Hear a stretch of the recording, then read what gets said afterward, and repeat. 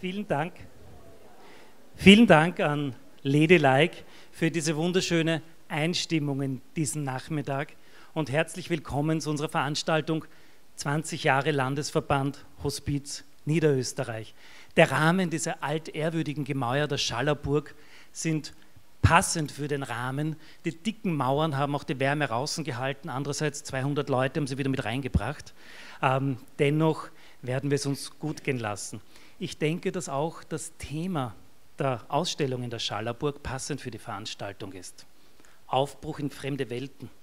Und tatsächlich geht es aus unserer Sicht gar nicht so sehr um den Landesverband heute, sondern um Sie, um die haupt- und ehrenamtlichen Begleiterinnen und Begleiter, die jeden Tag tatsächlich Menschen bis zur Schwelle in fremde Welten begleiten und ihnen vielleicht auch den Mut und die Sicherheit geben, den Schritt zu machen. Sie, ich freue mich, dass ich Sie durch diesen Nachmittag begleiten darf. Mein Name ist Alexander Seidel, ich bin im Landesverband Kassier. Und wenn. Und im Landesverband, Sie wissen, ehrenamtlich, also so gesehen haben wir mich engagiert, weil ich kein Honorar kriege, sondern das ehrenamtlich machen muss. Aber nichtsdestotrotz, Sie sehen, jeder Euro wird gespart, damit er Ihnen zugutekommt.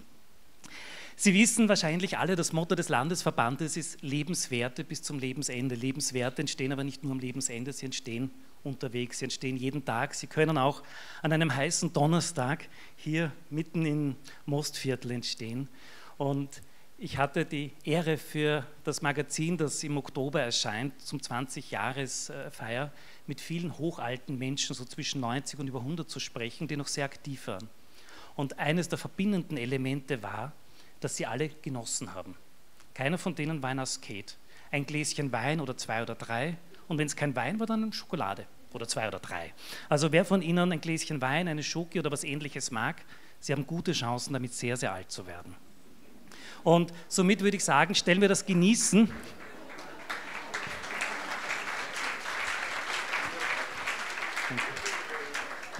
stellen wir das Genießen in das Zentrum des heutigen Abends.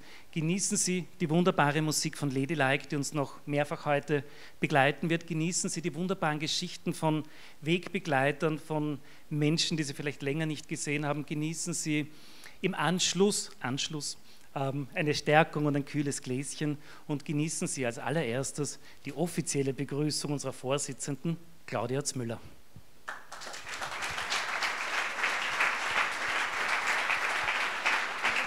Stücken drauf. Ja, es freut mich wirklich sehr, Sie, euch hier auf der Schallerburg begrüßen zu können zu unserer 20-Jahr-Feier. Bedingt durch die Pandemie, denke ich, haben sich viele schon lange nicht gesehen. Umso schöner ist es hier heute gemeinsam zu feiern. Ich habe das schon gemerkt unten bei der Anmeldung dass manche gesagt haben, ha, ist fast wie ein Familientreffen, wir sehen uns wieder. Und darüber freue ich mich sehr. Gerade die Pandemie hat uns gezeigt, wie wichtig Hospiz und Palliative Care ist. Unsere Teams, egal ob haupt- oder ehrenamtlich, waren in dieser Zeit sehr gefordert. Zu Beginn war viel zu organisieren. Wo bekommen wir Masken, Schutzkleidung, Tests her?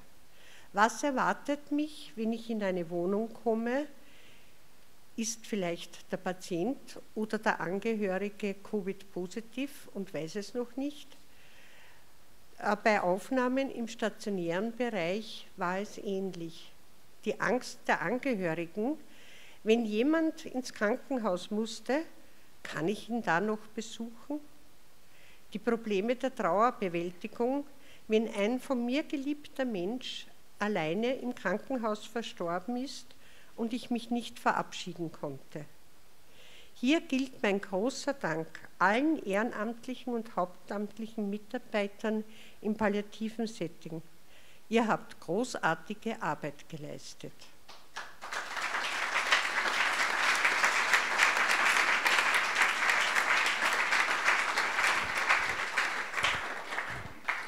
Es wurde uns auch bewusst, wie wichtig das Vorsorgedialog ist.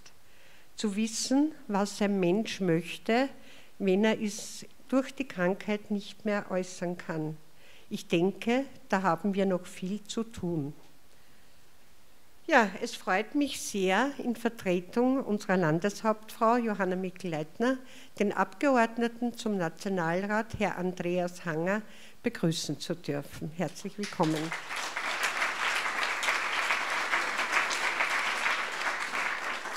Weiters begrüße ich in Vertretung von Landesrat Königsberger Ludwig den Landtagsabgeordneten Herrn René Pfister. Herzlich willkommen.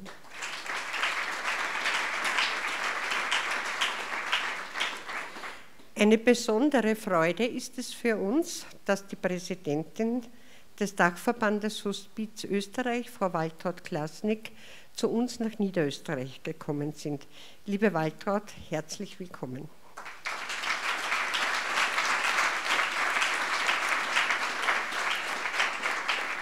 Und ich darf Sie jetzt alle drei auf die Bühne bitten.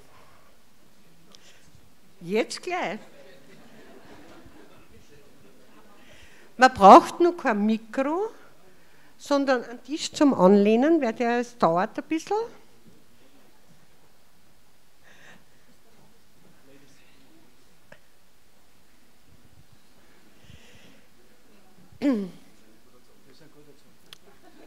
Sehr gut. Ah, ja, dies ist eine besondere Veranstaltung. Wir haben fast 200 Ehrengäste, die ich Ihnen jetzt einzeln vorstellen möchte.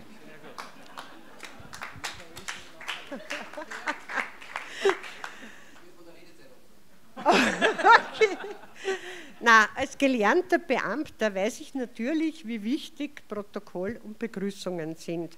Aber wir Hospizler sind immer anders.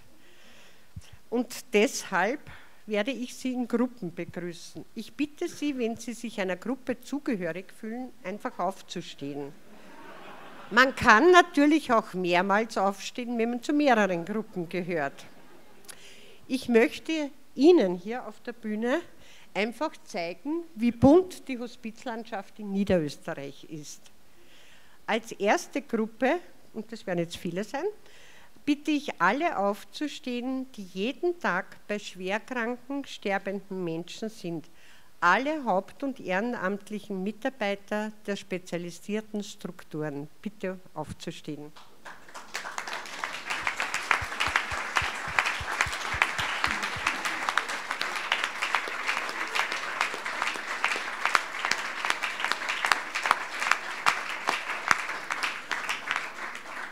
Stopp, ihr wart zu schnell. Hauptamtliche Niedersetzen passt, aber ich hätte gern die Ehrenamtlichen noch einmal kurz, dass sie aufstehen. Ich denke, sie haben einen Sonderapplaus verdient.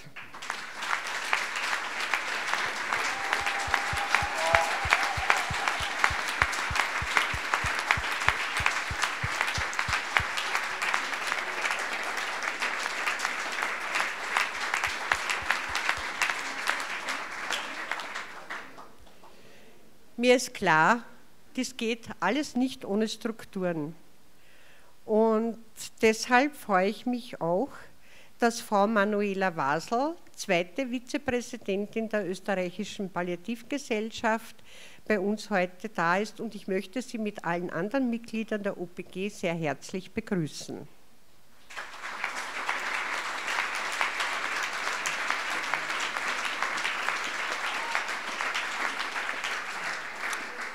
Wir freuen uns natürlich besonders, dass nächstes Jahr der OPG-Kongress in St. Pölten ist.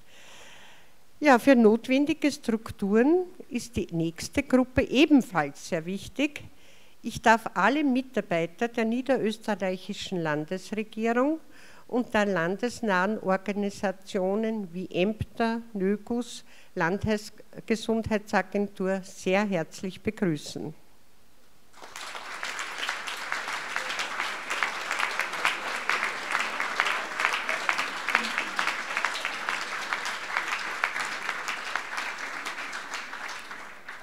Weiters die Vertreter der Bildungseinrichtungen. Ohne gut ausgebildete Mitarbeiter können wir nicht arbeiten, der Selbsthilfeverbände und der AG Heime.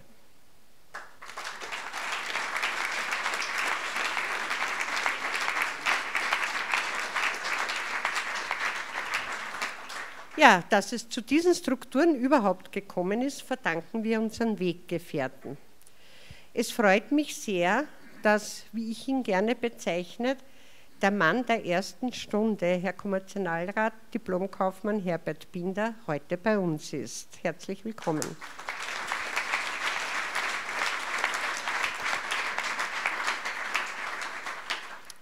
Unser langjährigster Begleiter, der auch die Initialzündung zur Gründung des Landesverbandes gegeben hat, ist mein ehemaliger Chef, Hofrat Dr. Otto Huber. Herzlich willkommen.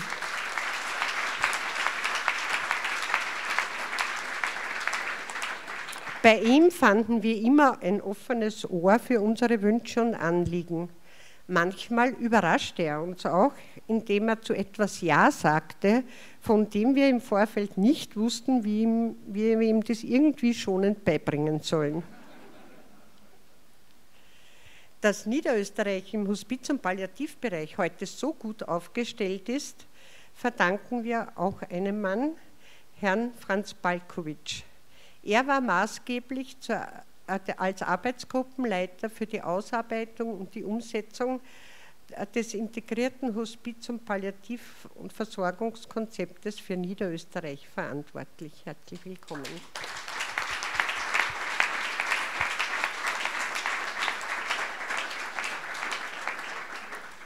Als Wegbegleiter begrüße ich auch alle ehemaligen Vorstandsmitglieder, Beiratsmitglieder, alle, die in diversen Arbeitskreisen mitgearbeitet haben. Herzlichen Willkommen und nochmals ein großes Danke für eure wertvolle Arbeit.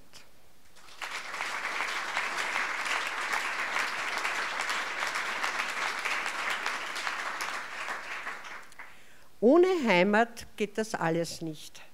Ich begrüße den Hausherrn, Herrn Bezirkshauptmann Dr. Norbert Haselsteiner.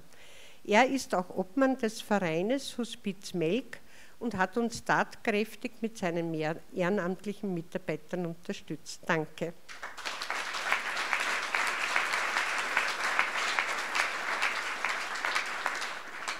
Jetzt bitte ich alle haupt- und ehrenamtlichen Mitarbeiter, die im Bezirk Melk tätig sind, stellvertretend für alle Bezirke aufzustehen.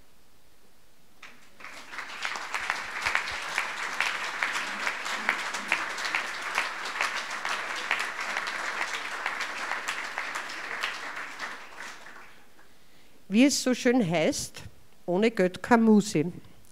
Es freut mich sehr, dass auch unsere Sponsoren den Weg auf die Schallerburg gefunden haben. Ich begrüße Herrn Dr. Peter Prober vom Landesverband der Niederösterreichischen Sparkassen, Frau Ingrid Herzog vom Landesverband der Niederösterreichischen Sparkassen, die den Landesverband schon seit vielen Jahren begleitet, und Herrn Alois Maurer, Team der S-Versicherung der Wiener Städtischen Landesdirektion Niederösterreich. Herzlich willkommen.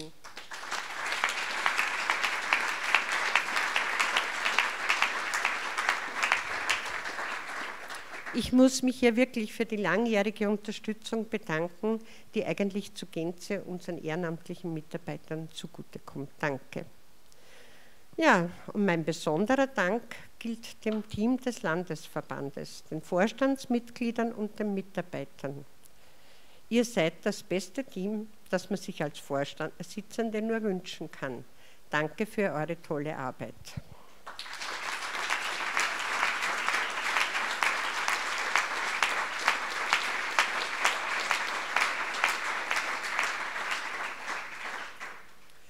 So, und wer bis jetzt nicht aufgestanden ist, bitte jetzt. Ich hoffe, es ist nicht deswegen, dass ich jemand vergessen habe, sondern Sie sich kein, in keiner Gruppe gefunden haben, der Sie sich zugehörig fühlen. Trotzdem herzlich willkommen.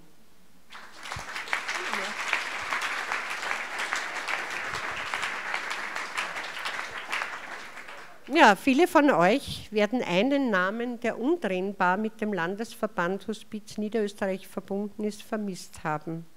Unsere Ehrenvorsitzende, Frau Dr. Brigitte Ries. Als Brigitte mich vor zwei Jahren fragte, ob ich den Vorsitz übernehmen könnte, sagte sie zu mir, sie möchte einfach mehr Zeit für ihre große Liebe, Griechenland haben. Voriges Jahr war es ja pandemiebedingt leider nicht möglich, dorthin zu fahren. Jetzt ist sie in Griechenland. Wir vermissen sie heute sehr, aber wir sind es ihr auch von Herzen vergönnt. Sie hat vor ihrer Abreise eine Grußbotschaft aufgenommen, die wir später sehen werden. Ja, ich hoffe, ich konnte Ihnen und dir, liebe Waltraud, ein bisschen zeigen, wie bunt die Hospizlandschaft in Niederösterreich ist und ein bisschen einen Einblick bieten. Ich denke, dass Hospiz und Palliativcare im Zusammenhang mit dem Gesetz zum assistierten Suizid jetzt besonders wichtig ist. Es muss für jeden Menschen, der es benötigt, 24 Stunden am Tag, 365 Tage im Jahr, eine adäquate Hospiz- und Palliativbetreuung mit ausreichend qualifiziertem Personal möglich sein. Nur so können wir verhindern, dass die Menschen zum assistierten Suizid gedrängt werden. Wir dürfen dabei auf die Mitarbeiter der Teams nicht vergessen. Sie müssen ebenfalls damit lernen, umzugehen. Deshalb bitte ich die Verantwortlichen des Landes um ihre Stützung Unterstützung auch weiterhin. Wir brauchen es dringend. Danke für die Aufmerksamkeit.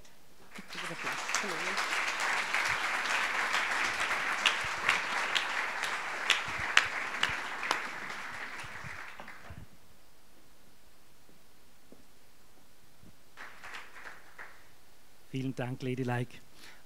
Wunderschön, oder? Ganz ehrlich jetzt. Ähm, gehört zum Genuss dazu heute. Man vergisst da, ist auch ganz wurscht. Ähm, ihr fast hätte ich vergessen, was ich als nächstes sagen wollte, aber noch nicht ganz. Ähm, nachdem Sie die Vertreter der Politik bereits gesehen haben oder eigentlich Sie gesehen haben, wie viel Bewegung da ist, wie viele Menschen da sind, darf ich jetzt doch ein klein, mäßig, äh, klein wenig protokollarisch Sie um Ihre Grußworte ersuchen und zu Beginn in Vertretung von Frau Landesrätin Königsberger Ludwig, Herrn Landtagsabgeordneter René Pfister.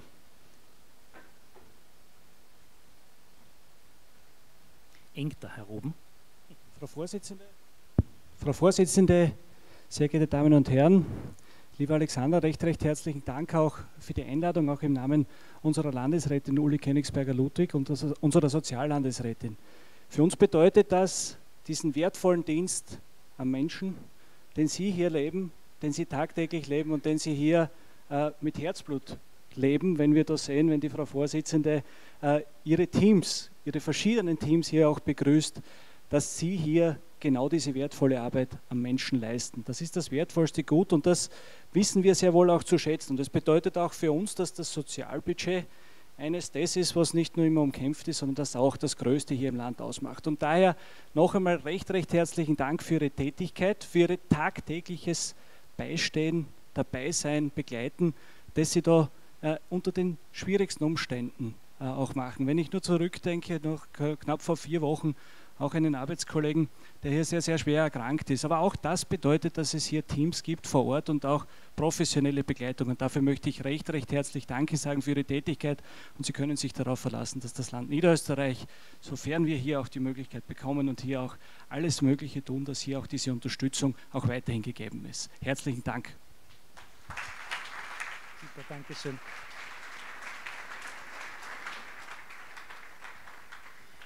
Vielen, vielen Dank für diese anerkennenden und auch schon für die Zukunft mutmachenden Worte. Sie sind alle aufgenommen. Also ich wollte es nur gesagt haben. Und in Vertretung von Frau Landeshauptfrau Mikl Leitner, den Abgeordneten zum Nationalrat Andreas Hanger, darf ich auch Sie um Ihre Worte, Ihre Grüße bitten.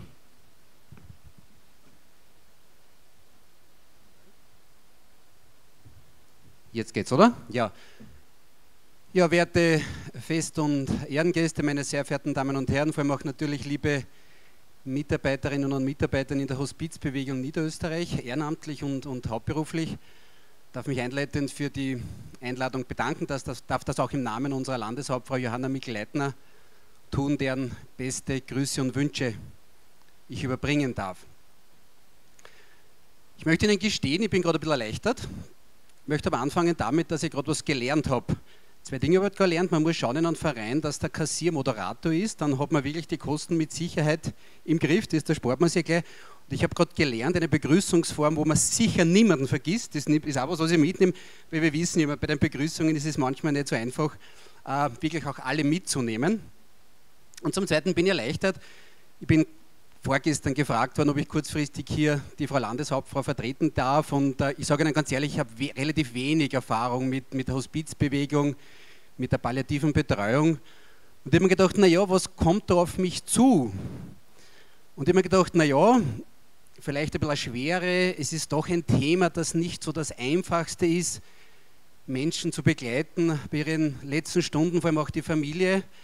Und ich bin total erleichtert, dass man so viele fröhliche Gesichter da trifft, die, die lachen und einfach äh, den 20. Geburtstag miteinander feiern wollen.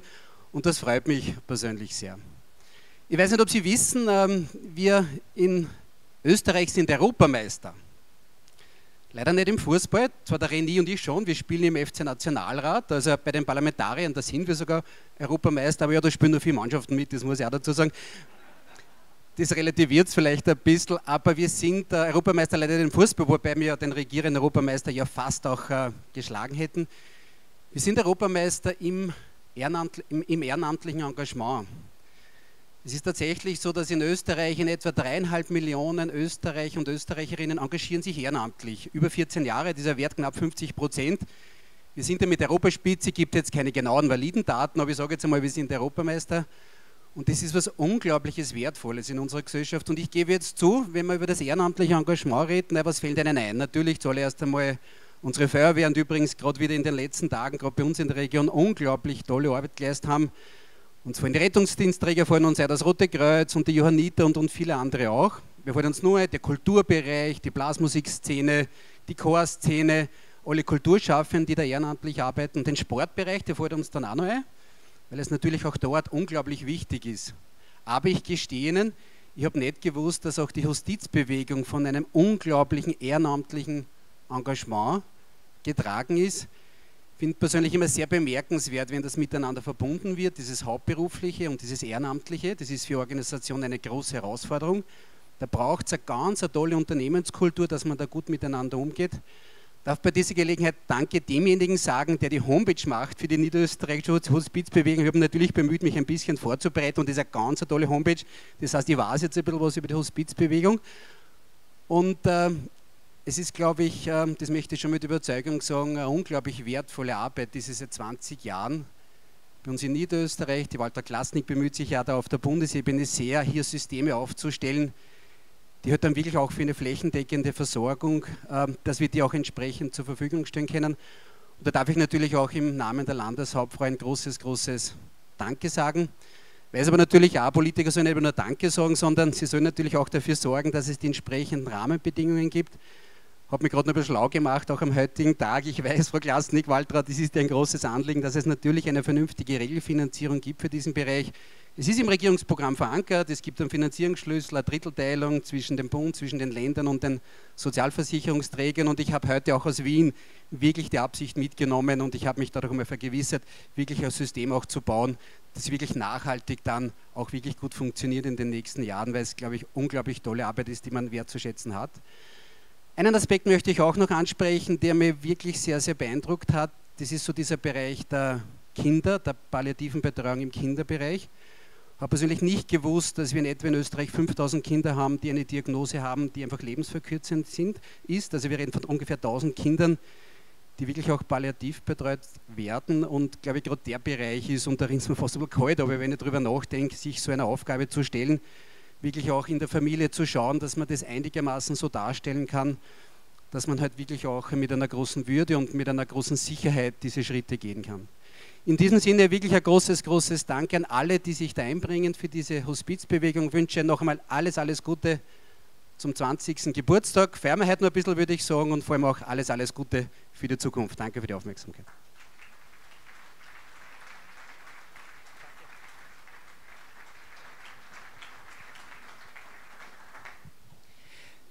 Vielen Dank Andreas Hanger für die wunderbaren einleitenden Worte oder die Grüß Grußworte. Was ich großartig finde, ist, wenn Sie so ganz nebenher äh, bemerken, naja, so viel Ahnung haben Sie nicht gehabt, aber trotzdem nachgeschaut haben, sich da ein bisschen im Hintergrund schlau gemacht haben, worum es geht und dass ihnen sofort aufgefallen ist, dass ganz viel gelacht wird.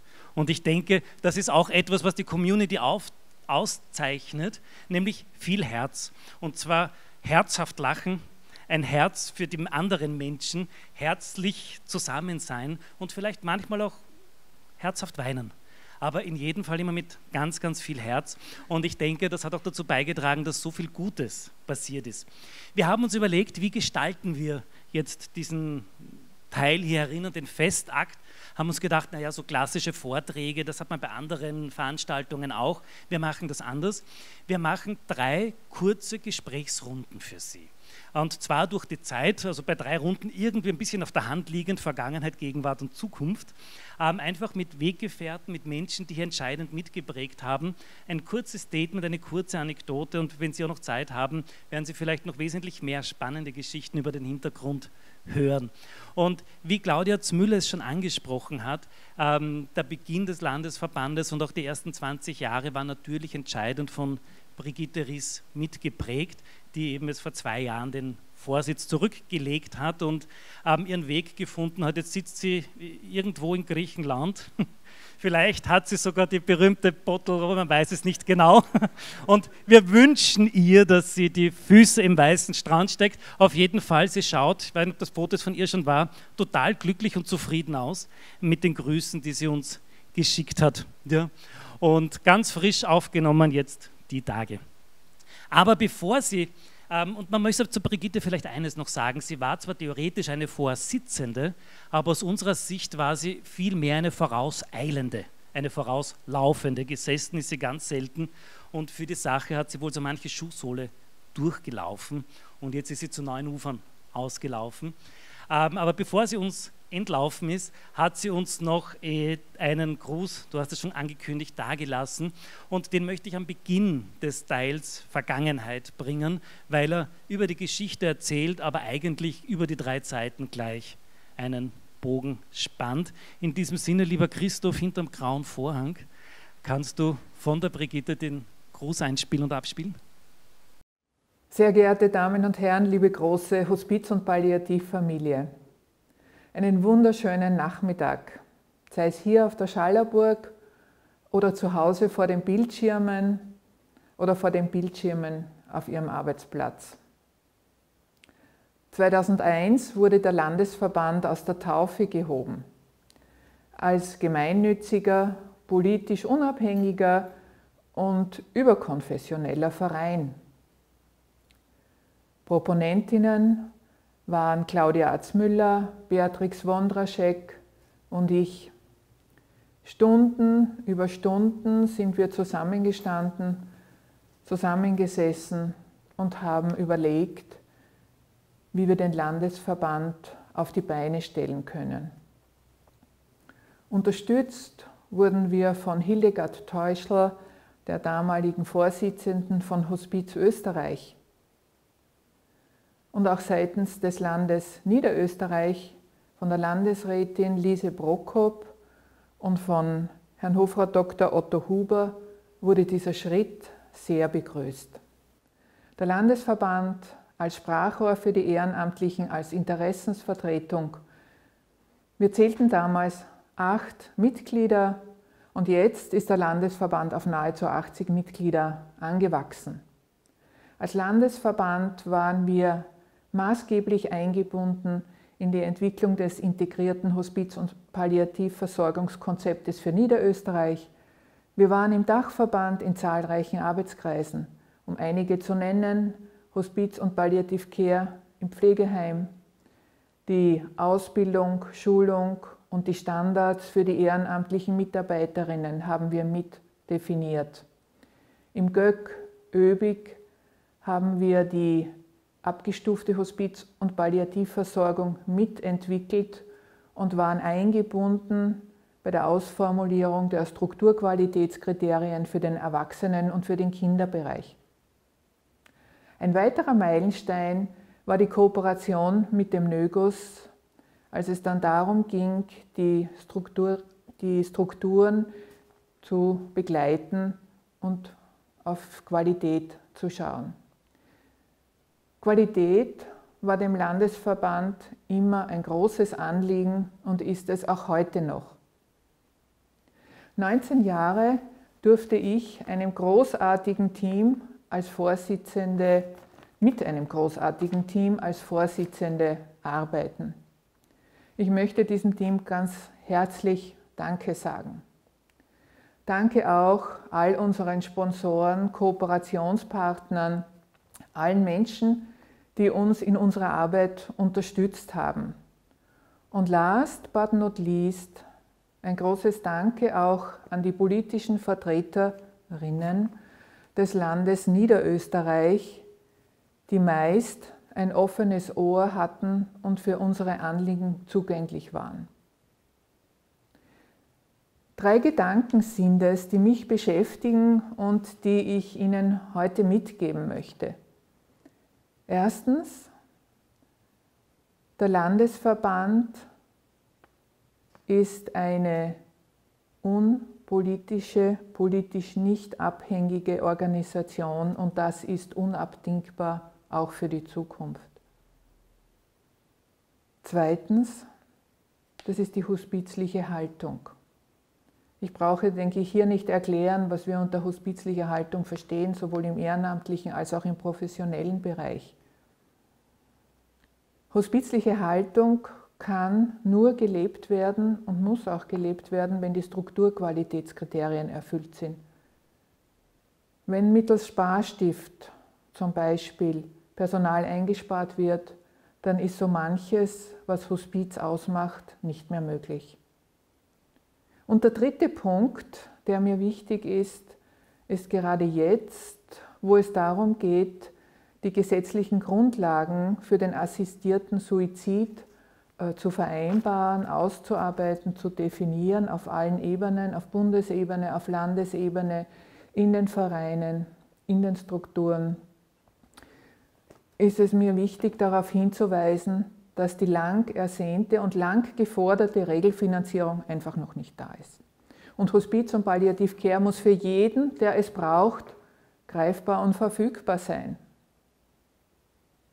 Dachverband Hospiz Österreich und die OPG haben bereits zu diesem Diskussionsprozess eine Stellungnahme abgegeben. Mir ist auch noch wichtig darauf hinzuweisen, dass die vulnerablen Menschengruppen einen besonderen Schutz genießen müssen. Es kann nicht sein, dass zum Beispiel Menschen, die an Demenz erkrankt sind, die psychisch krank sind oder die körperliche Behinderungen, Beeinträchtigungen haben, zu wenig geschützt werden und eventuell in einen Suizid hineingedrängt werden könnten. Im Leitbild des Landesverbandes steht, Ziel ist, dass alle Menschen, die von Sterben und Tod betroffen sind, eine menschliche, qualitativ hochwertige und ausgewogene Begleitung erfahren. Das ist noch immer und immer wieder aktuell. Und ich möchte mich hier und zum Schluss den Worten von Waltraud Klasnik anschließen. Hospiz und Palliativversorgung ist für ein menschenwürdiges Lebensende unverzichtbar. Dankeschön. Internet natürlich ein bisschen recherchiert und bin draufgekommen, am 25. April 2001 haben sie eine Enquete über die Schnittstellen in der Hospizarbeit moderiert, das war eine Abmeldung, ähm, als Vertreter der Plattform Hospiz. Es war damals übrigens auch schon ein gewisser Hofrat Huber mit dabei, eine gewisse Brigitte Risse, eine gewisse Claudia Müller, also wir sind eh irgendwie die Grandenrunde hier. Aber Sie damals Vertreter der Plattform Hospiz, wie und, und warum ist es damals zur Gründung der Hospiz-Plattform in Niederösterreich gekommen? Was war damals das Ziel? Naja, ich bin zur Plattform Hospiz oder die Plattform Hospiz ist zu mir gekommen wie der Pilatus ins Credo. Ähm, daher Dozent Schmatz, den manche der Anwesenden vielleicht äh, kennen, hat bei uns im Lions Club St. Pölten einen Vortrag gehalten zum Thema Hospiz. Das war damals ein bisschen was Exotisches noch. Es war, nachdem das Publikum sehr jung ist, es war gegen Ende des vergangenen Jahrtausends, wenn ich so richtig formuliert darf. und hat einen Vortrag über Hospiz gehalten und Palliativmedizin. Und der Vortrag war so eindrucksvoll, äh, dass also ein gemischter Club, da sind ja nicht nur Katholen drin, sondern, sondern, sondern, sondern alle Weltanschauungen und Nicht-Weltanschauungen, so begeistert war, dass er mich beauftragt hat, ich soll mir ein bisschen umschauen, was wir konkret spenden können für äh, diese, Hospiz, für diese. Und aus diesem eigentlich zufälligen Anlass heraus habe ich mich befasst mit Hospiz. Ich gestehe, dass ich dadurch erst dazu kam. Es war einige Jahre vor der Jahrtausendwende. Und ich bin auf viele Sachen zu meinem Erstaunen draufgekommen, die ich nicht gewusst hatte. Vor allem aber bin ich draufgekommen, dass da ungeheuer viel Kreativität und Idealismus und Engagement dahinter steht, aber dass alle diese Leutchen völlig ohne Netz arbeiten. Es gibt keine Strukturen, es ist kaum eine rechtliche Basis. Ähm, äh, äh von der Finanzierung her war das alles einigermaßen im Allgemeinen. In manchen Fällen, und da bin ich meinem Nachbarn dankbar, den ich heute das erste Mal persönlich kennenlerne für seinen Dienst, äh, in manchen Fällen wurde das als Privatvergnügen oder als, als, als, als na, Hobby nicht gerade, aber als Privatangelegenheit beispielsweise in Spitälern betrachtet, wenn sich jemand mit Sterbenden beschäftigt hat, der Arzt war oder Krankenschwester und so weiter. Also ich war eigentlich erstaunt über diese Strukturlosigkeit des und bin in meiner Unsicherheit dann zu meiner alten Sportsfreundin gegangen, zur Lise Prokop, es zeigt sich, unsere Sportkarrieren waren verschieden, äh, wie man merkt. Äh, und habe wie geht es dir? Du bist die Zuständige da in der Landesregierung dafür. Und sie sagt so, du, ehrlich gesagt, mir geht es genauso. Ich habe so viele Initiativen, alle kommen zu mir und ich tue mir wirklich schwer, da einen Überblick zu bewahren. Und dann kamen wir, und damit möchte ich die erste Frage, oder die Frage beenden, kamen wir zur Überzeugung, wir bilden so etwas wie eine Plattform es war eine politische Plattform im weitesten Sinne, nicht eine parteipolitische. Natürlich waren die parteipolitischen Organisationen dabei, aber es waren die drei Caritasen dabei, Erzdiözese Wien und, und also Caritas Diakonie und so weiter. Es waren dabei, äh, äh, das war mir ein Anliegen, die Ärztekammer, vom Anfang an kompetente Partner. Es war dabei die Gebietskrankenkasse. Ich tat mir etwas leichter, weil ich war damals schon seit einigen Jahrzehnten Geschäftsführer des größten Medienhauses des Landes und war gut vernetzt. Also es war vom Anfang an eigentlich alle äh, äh, Interessierten an einem Tisch und das war die Plattform. Und diese Plattform hat ganz kuriose Statuten gehabt. Sie war auf drei Jahre begrenzt laut Statuten. Was wir in drei Jahren nicht zusammenbringen, bringen wir nachher auch nicht zusammen. Und das Hauptziel war, die Gründung dieses Landesverbandes vorzubereiten und auf Landesebene, auf Spitalsebene und so weiter und so fort, wenn die anderen dann dazu was sagen, äh, vor allem mein Freund Otto Huber, der damals noch kein Hofrat war, äh, er, war der Leidtragende, oder nicht der Leidtragende, der Lasttragende im Vorhof des Tempels bei der Lise Prokop.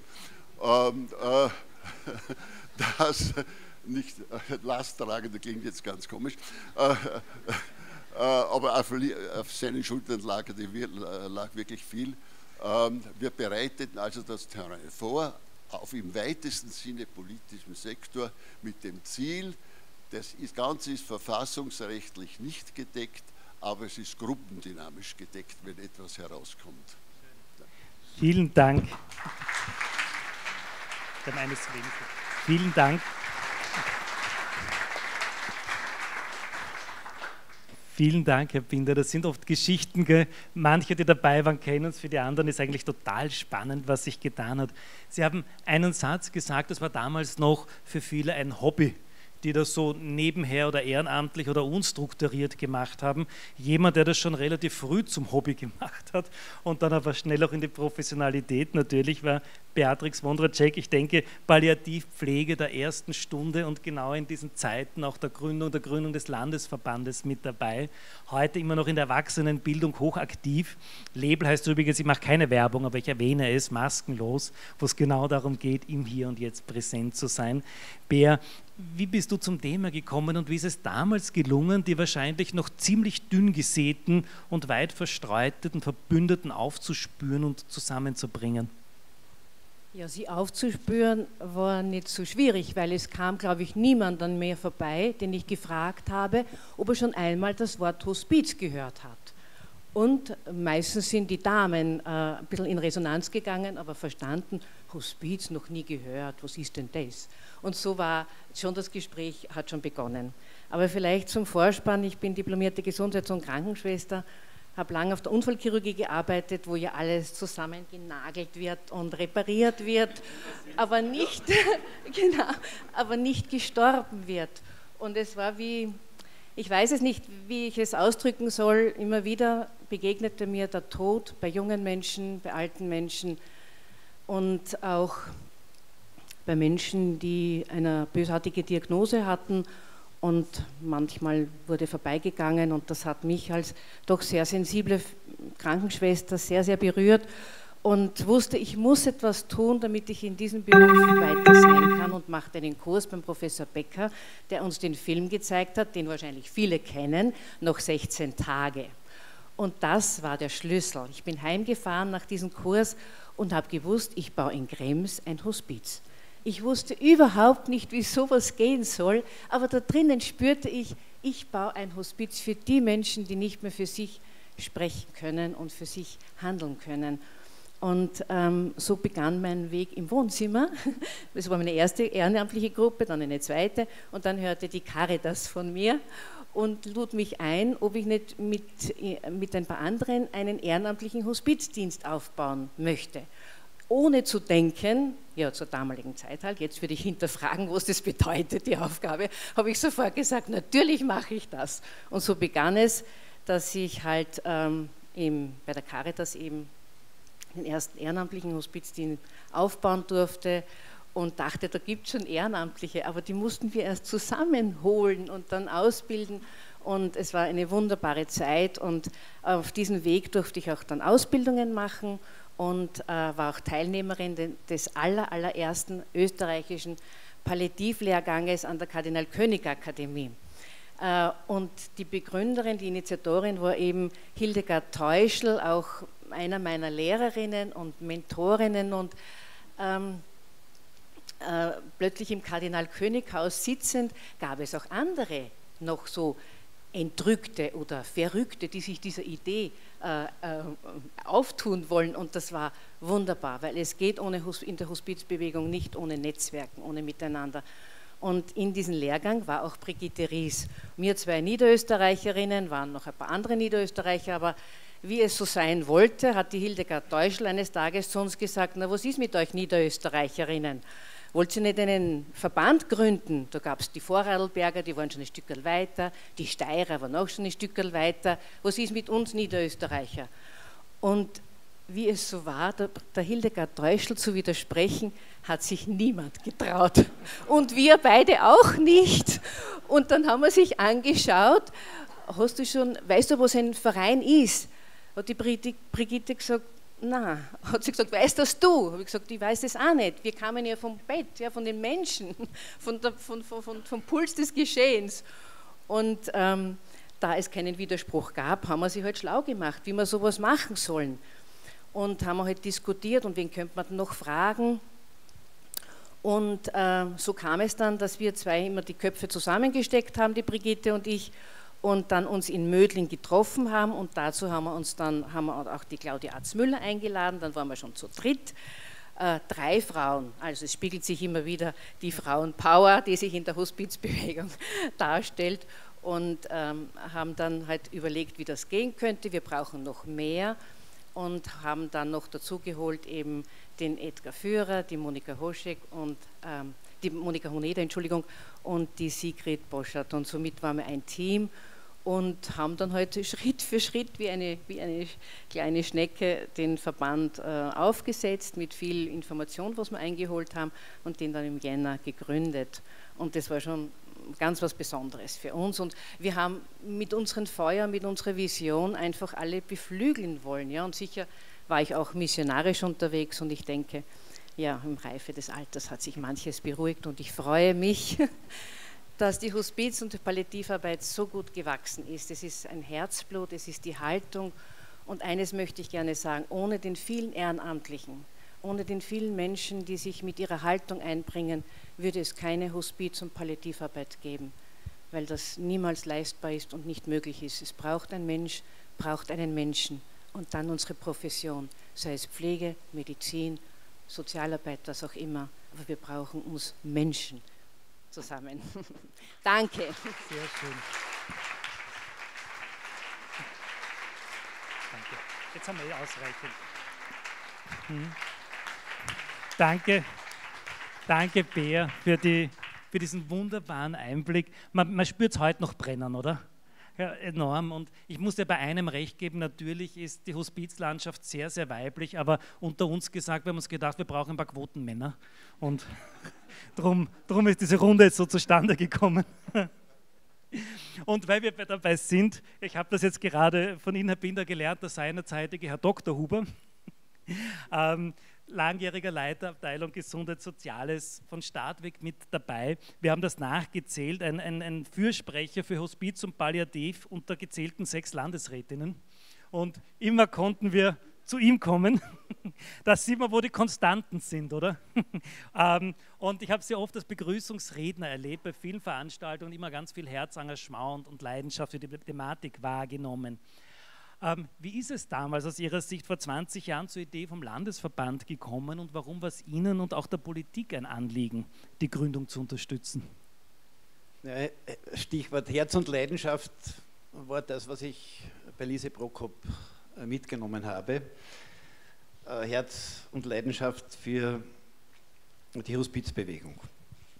Eigentlich ist so da die Saat vor 20 Jahren schon viel früher gelegt worden, weil sind ja die Namen alle schon genannt worden, Hildegard Teuschel, Kardinal König. Äh, aber es war damals die Zeit reif, dass man von der Plattform, wo viele Träger zusammen waren, dass wir damals gesagt haben, legen wir die Verantwortung dorthin, wo die Expertise, wo das Fachwissen da ist. Brigitte Ries hat es in ihrer Videobotschaft ja gesagt. Also es, mir ist damals gegangen um Qualitätssicherung und Weiterentwicklung. Und eine Weiterentwicklung ist nur dann möglich, wenn jemand schaut, wie sich die Qualität entwickelt, darauf schaut, auch koordiniert den Ausbauplan zu begleiten. Und das war, glaube ich, damals, ich war ja damals schon nicht mehr bei Lise Prokop, das, ich habe die Maßen gehabt, dass ich von ihr weggekommen bin, ist, ist, aber nicht ganz weggekommen bin, sondern, sondern dann in die, man sagt Verwaltung, ich habe mich von der Verwaltung immer ein bisschen geschreckt, sondern in die Umsetzung. Man hat dann das, was man quasi im politischen Umfeld so direkt mitgenommen hat, dann in der Praxis umsetzen können. Und das war das Schöne, dass das, was damals entwickelt wurde, so mit dem Landesverband dann eine Struktur bekommen hat. Und zwar eine regelmäßige Struktur und eine Qualität, die mir besonders auch wichtig war. Und ich habe mich auch nicht viel um das dann kümmern können, sondern es war einfach so schön zu sehen in den nächsten 20 Jahren, dass da eine Bewegung entstanden ist, die, die toll war. Und es ist so viel, vielfach der Spaß heute schon erwähnt worden. Und ich bin auch deshalb immer gern zu den Veranstaltungen gekommen, weil es da also lustig zugegangen ist. Ich selber bin auch nicht der Vatertyp, aber es war einfach immer dort ein Quell der Kraft zu holen und Kraft zu danken für das, was man heute halt tagtäglich oder in den nächsten Jahren überlegt hat. Und ich bin da wirklich auch der Politik dankbar, wenn ich Barbara Schwarz hier sitzen sehe, dass ich da auch die Maßen gehabt habe, dass die politische Unterstützung auch wirklich da war. Ich tue mir noch immer schwer, ich bin ja seit einem Jahr jetzt in Pension, äh, über Vergangenheit zu reden. Also das ist für mich was Neues und das muss ich erst lernen, dass ich, das muss ich erst lernen, dass ich quasi über die Vergangenheit rede. Da habe ich nie gerne über Vergangenes geredet. Aber es ist so Schönheit, dass wir uns wieder treffen können, dass man wieder Begegnungen ermöglicht. Das ist ja in der Hospizarbeit das ganz Entscheidendste, dass man mit Menschen sich austauschen kann. Und ich habe immer eine Geschichte erzählt, auch bei diesen diversen Hospizenqueten, wir machen das ja einmal, wir haben das einmal im Jahr gemacht. also ganz habe ich es noch nicht weg. Und da ist mir wieder gestern bewusst geworden, wie wichtig das ist. Ich habe einen Freund, der ist zwei Jahre jünger als ich. Ich habe den gestern besucht, der hat die Krankheit, also für die, die nicht medizinische Insider sind, der hat alle sehen, also das ist etwas, das Steve Hawkins hat. Der ist voll im Berufsleben und hat, den habe ich gestern nach einem Jahr, nachdem ich ihn wieder gesehen habe, besucht, äh, versucht halt aufzubauen. Der sitzt schon im Rollstuhl. Äh, und, da hat er, und ist in Deutschland aber tätig. Und in Deutschland war er dann in der Verzweiflung, Diagnose, was hat er jetzt wirklich in der Charité in Berlin. Und statt dass die sicher tollen Mediziner dort ihm einen Weg aufzeigen, wie ein Leben an Qualität haben kann, auch für Menschen mit schweren Erkrankungen, der ist ja geistig topfit, haben sie ihm nichts anderes gesagt, als was als nächstes ja, an Verschlechterung des Gesundheitszustands, dass er dann bald beatmet werden muss, anstelle, statt dass sie ihm sagen, na, es gibt da Menschen, die in schweren Zeiten auch an Qualität haben können. Und das hat man so, das habe ich für heute wieder mitgenommen, dass das, dass wir da noch viel zu tun haben. Da bin ich schon wieder in der Zukunft, dass es um viel wichtigere Dinge geht, als jetzt im medizinischen, fachmedizinischen Kontext den Patienten vielleicht doch einmal andere Botschaften zu übermitteln. Und das wollte ich noch für heute noch mitnehmen, dass das, habe ich mir vorgenommen, das muss ich, obwohl ich nur zwei Minuten Zeit habe, das muss ich noch einmal bringen und mich bei euch, bei Ihnen bedanken, dass das, was dort zum Beispiel bei dem meinem Freund passiert ist, ich glaube nicht so. Und ich bedanke mich wirklich für die 20 Jahre. Es war immer schön, dass ich euch, mit euch zusammen viele Stunden verbringen durfte. Danke. Einfach gefragt, ähm, ob Sie mal nach Mödling in die alte Tischlerei kommen und uns an Ihren Geschichten teilhaben lassen, die Sie speziell berührt, bewegt haben. Es wusste keiner, was die Frage ist, aber es sind ganz viele gekommen. Wir können gar nicht alle machen, aber einen kleinen Ausschnitt haben wir jetzt an diesen Geschichten, die bewegt haben, die noch immer bewegen, für Sie wieder mitgebracht, Herr Hofbildmeister. Vielleicht den Film von Mödling.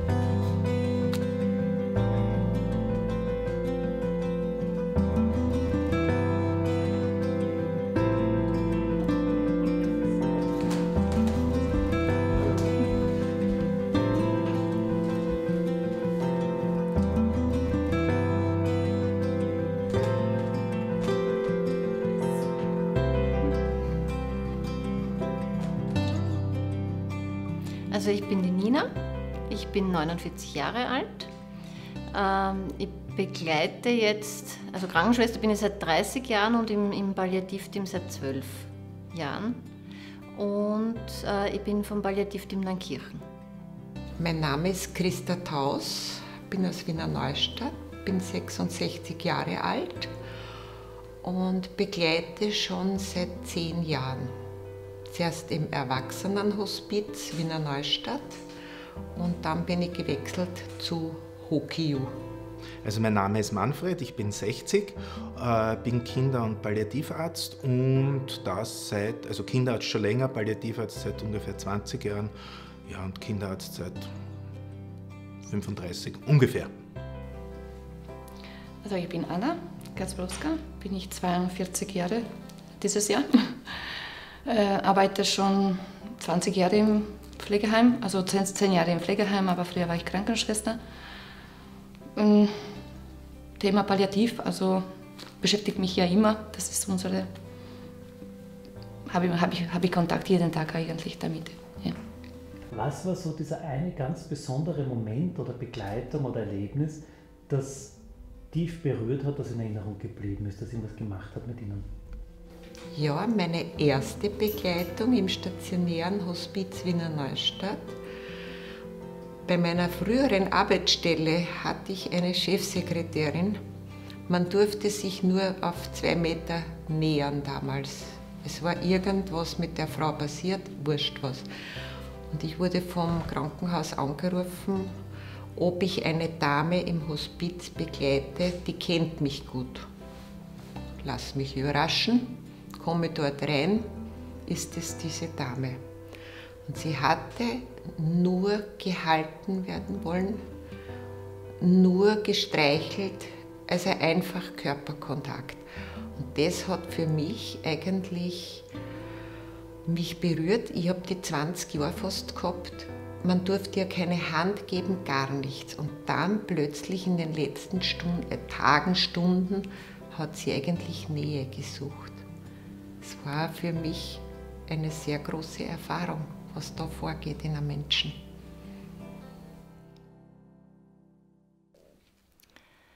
Puh, da gibt es ein besondere, da, da wird mir viele besondere einfallen, weil das, es ist ja jede Betreuung eine besondere. Aber ein wirklich ganz besonderer Moment, wenn ich über das nachdenke, ist, das war eine Betreuung von einem Mann, der, der, der ziemlich große Bindung äh, zu mir irgendwie auch aufgebaut hat und wo ich mit der Tochter ähm, seiner letzten Lebensphase viel telefoniert habe und sie hat gesagt, du, äh, der Papa kann nicht gehen und, und er redet immer von einem Engel, der, der kommen muss und jetzt von einem großen blonden Engel und jetzt war seit seine Schwester war schon da und, und alle die großen Blonden waren schon da und irgendwie kann er nicht gehen. Und sie hat gesagt, ich glaube, der wartet auf dich. Und dann bin ich damals hingefahren in der Früh und und bin zu ihm hineingegangen und, und habe mich hingesetzt und habe so ein paar Worte mit ihm gesprochen. Und dann hat er meine Hand gehalten und dann ist er wirklich verstorben. Und ja, ich bin dann rausgegangen damals aus, aus dem Zimmer und, und habe so irgendwie dieses Gefühl gehabt, ich habe mich irgendwie mit, mitgehabt. Ja? Also nicht in einem unangenehmen Gefühl, aber irgendwie, wie man das Gefühl gehabt, der ist mit, der ist da. Und er hat mir damals anvertraut, er war ein Jäger, dass er im Wald einen besonderen Platz gehabt hat mit einem Bankerl, wo er halt immer gesessen ist und wo er sich so entspannt hat. Und ich bin dann zu diesem Platz gefahren und habe mich dann dorthin gesetzt und habe halt an ihn gedacht und habe mir gesagt, er kann jetzt da bleiben auf diesem Platz und bin von diesem Platz weg und, und er war weg. Also er war nicht mehr mit, mit mir mit dabei und Zwei, drei Tage später hat mir dann die Tochter wieder angerufen und gesagt, sie hätten gern, dass ich nochmal vorbeikomme. Und dann haben sie mir so einen großen Engel geschenkt, so einen, einen Steinengel, so einen Hockenden, der auf der Hand so einen, einen kleinen Marienkäfer hält und betrachtet. Und das war so wunderschön, weil das war einfach, dass ihm gesagt, du warst sein Engel, auf den er gewartet hat. Und der steht jetzt schon seit Jahren bei mir im Vorzimmer und hat einen besonderen Platz. Also das war für mich schon eine sehr beeindruckende äh, Betreuung, weil man einfach so nahe rankommt und dass die Leute oft dann wirklich auf einen warten, so für diesen Abschied. Ne? Und, und ja, man muss halt an dieses vielleicht auch glauben, dass man jemanden mit hat, diesen Geist oder, oder, oder auch annehmen können, ja, wie auch immer, aber es war total wichtig. Und es war total schön, es war wirklich eine schöne Begleitung damals. Und das bleibt mir sehr lange in Erinnerung, aber da gibt es einige so Geschichten. Mm, das Tiefste, was mich berührt hat, das war, wie meine meine Oma ins Hospiz gekommen ist. Das Thema hat mich dann beschäftigt, aber habe ich so richtig mich mit dem, nicht direkt nur mit dem Thema beschäftigt, sondern allgemein mit der Pflege und Betreuung und Begleitung. Aber ja, es ist schwer. Also schwer, aber tut gut, den Leuten zu begleiten. Puh, eine, es ist natürlich einige Situationen, die mir da einfallen. Eine ganz spezielle. Ist vielleicht ganz, ganz am Beginn, warum ich auch mit dem Ganzen begonnen habe. Wie ich noch im Krankenhaus war, an eine Situation, als ein Kind verstorben ist und dieses Kind dort ähm, wirklich dann alleine gelassen wurde, weil sie alle weggedreht haben und weg äh, keiner den Anblick sehen konnte und immer gedacht habe, na, das kann es nicht sein. Also da, da will ich irgendwas tun und die Eltern dort überfordert waren. Und das war eigentlich der Beginn, wo ich gesagt habe, da will ich was tun und da will ich was ändern. Und das ist vielleicht das, was bei mir meisten, den meisten Eindruck hinterlassen hat. Hm.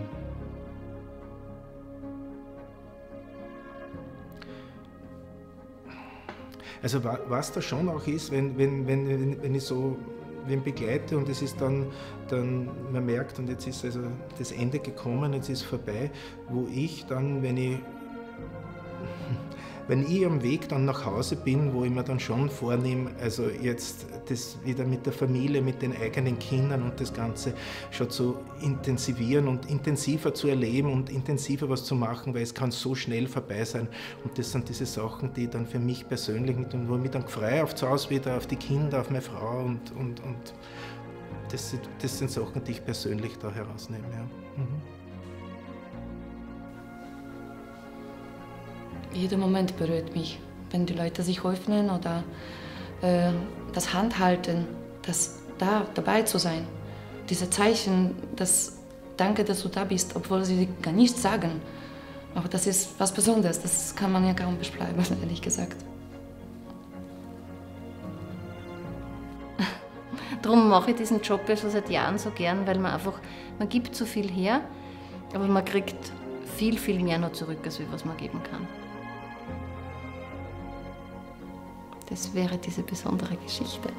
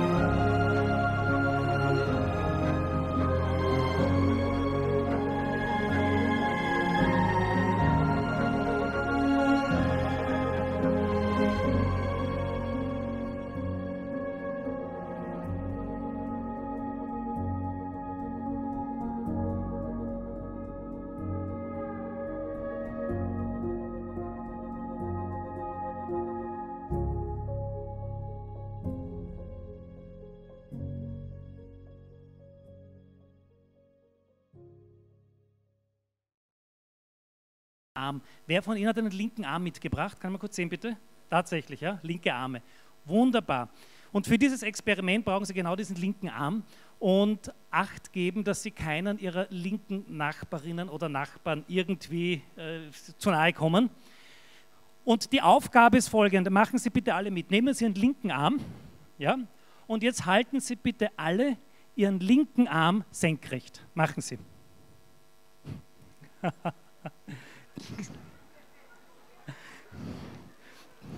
Das, danke.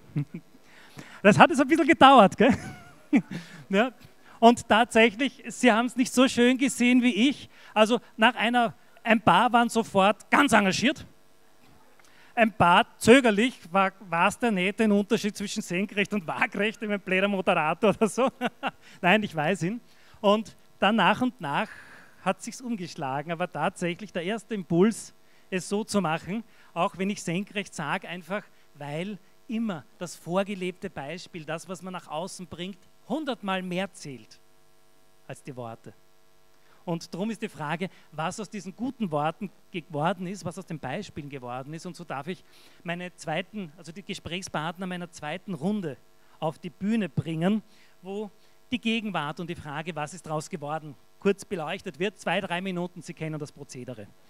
Ähm, das heißt, meine nächsten jeweils zwei bis drei Minuten Partnerinnen und Partner würde ich ersuchen, den Direktor für Medizin und Pflege der Niederländischen Landesgesundheitsagentur, Dr. Markus Glamminger, die Obfrau des Hospizvereins Badens, Andrea Hohl, und den operativen Geschäftsführer Kulturregion Niederösterreich, Martin Lammerhofer, herauf ersuchen.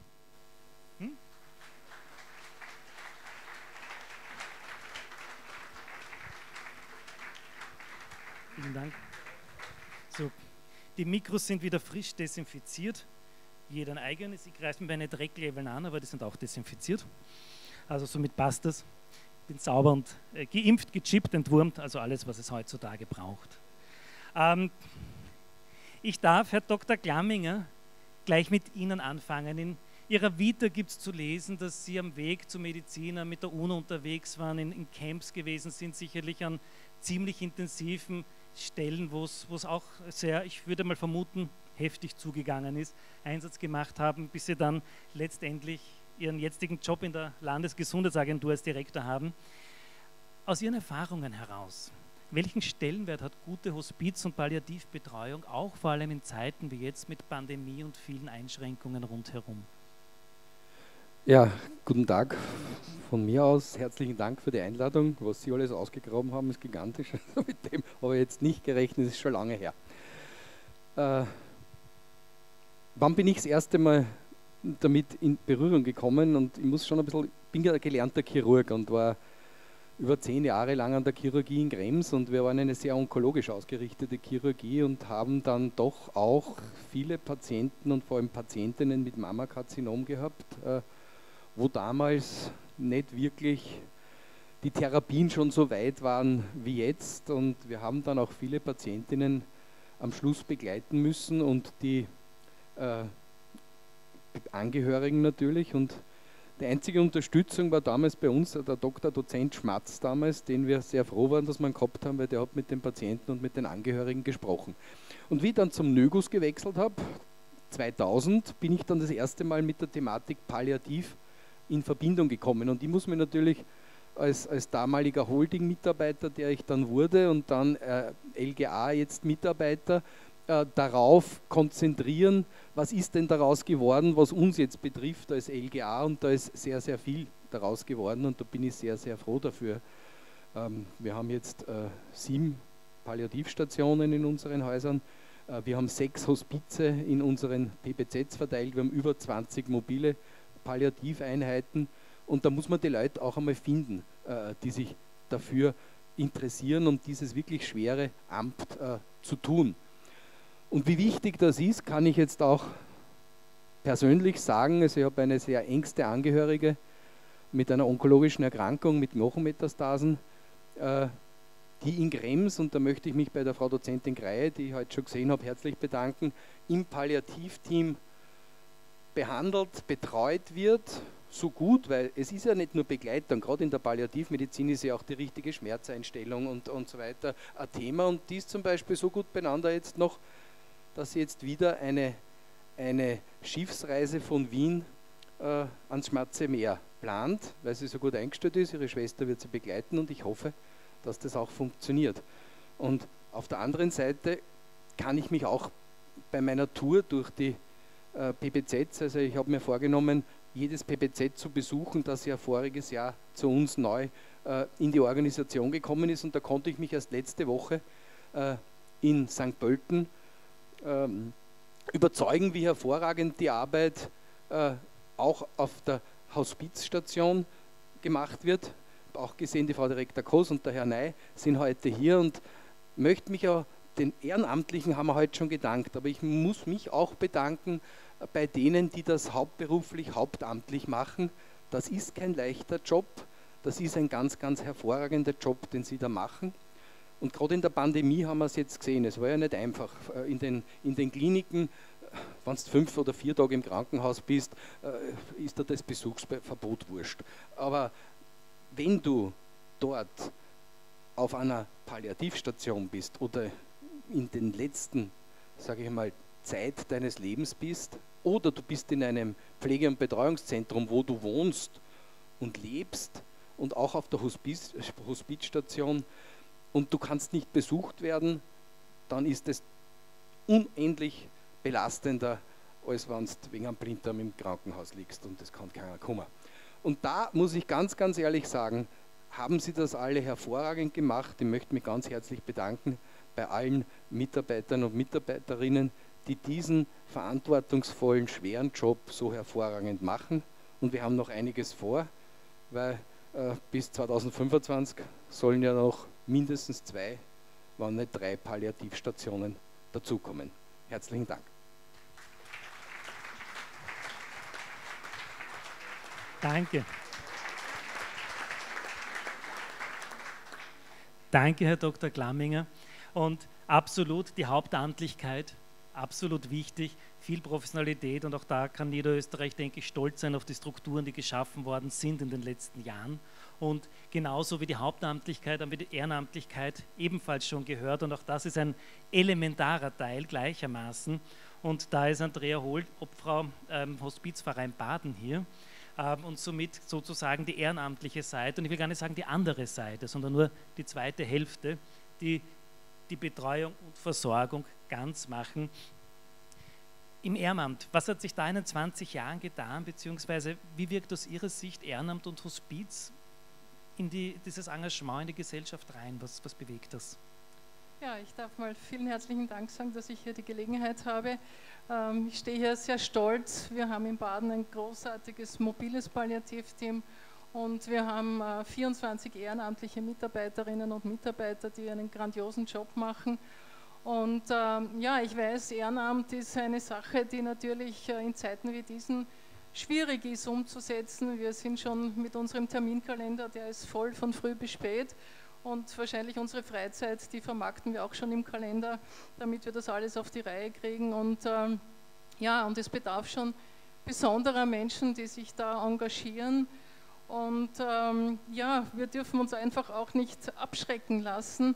Äh, manchmal denke ich mir, wenn wir die Zeitung aufschlagen, äh, ja, eine Flut an Dingen, die uns bewegen, die uns vielleicht Angst machen, aber lassen wir uns einfach nicht abschrecken von alledem. Wir sind, müssen auch nicht so perfektionistisch sein. Das Ehrenamt ist ein ganz ein großer, wesentlicher Teil, denke ich, in dieser Hospizgeschichte.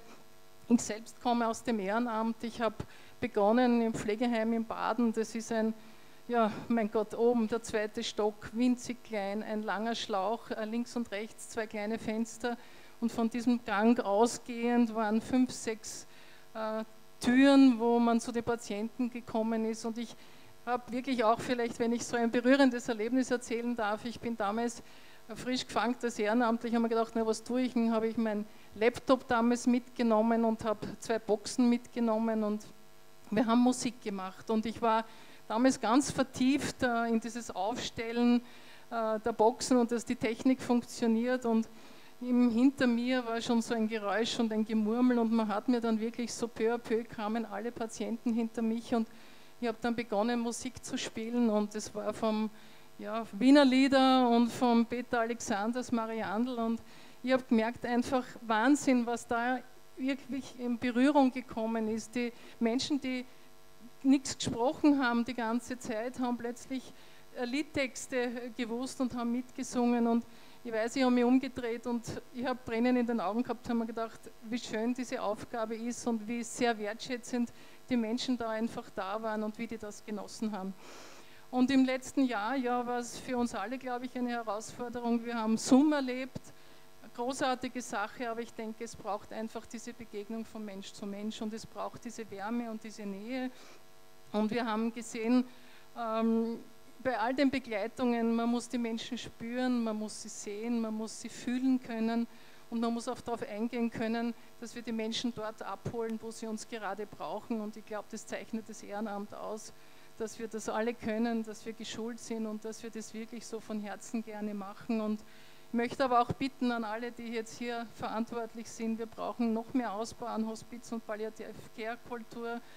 Ich hoffe, dass wir gut weitermachen und ja, ich sage vielen herzlichen Dank für die Gelegenheit und ich wünsche allen, die hier so fleißig und so unheimlich engagiert sind, alles Gute und bleiben wir weiter auf einem guten Weg.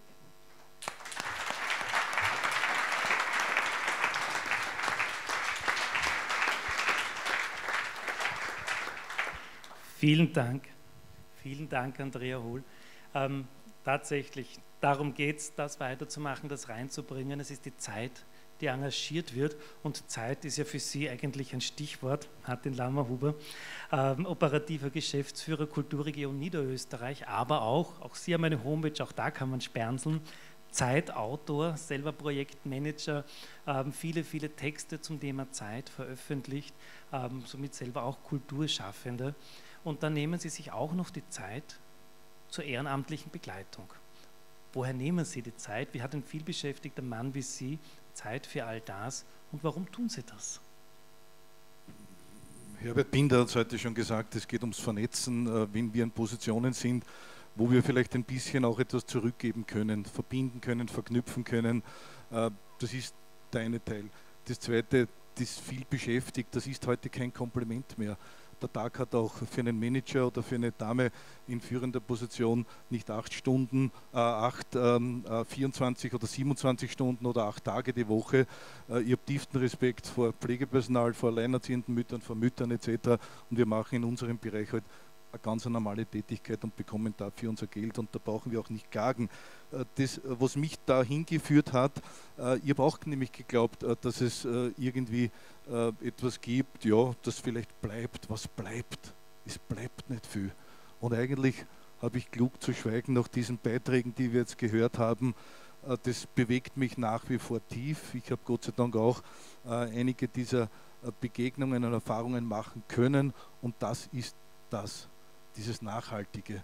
Und äh, wenn ich die Politik sehe äh, und ich will nicht runterblödeln, wir kennen uns schon lange, den Andi Hanger, aber der Ibiza-Ausschuss, der geht vielleicht in deine Geschichte einer Sicherheitssprecher, aber er ist auch Ehrenamtssprecher äh, im Parlament. Und ich glaube, wenn du dich einsetzt für menschenwürdiges Sterben und da viele Achsen bildest dann heute von diesem Abend, genauso wie wir alle etwas mitnehmen, dann ist das vielleicht deine Nachhaltigkeit oder die Nachhaltigkeit, die wir in unserem kleinen Bereich, ob prominent oder nicht prominent, leben können.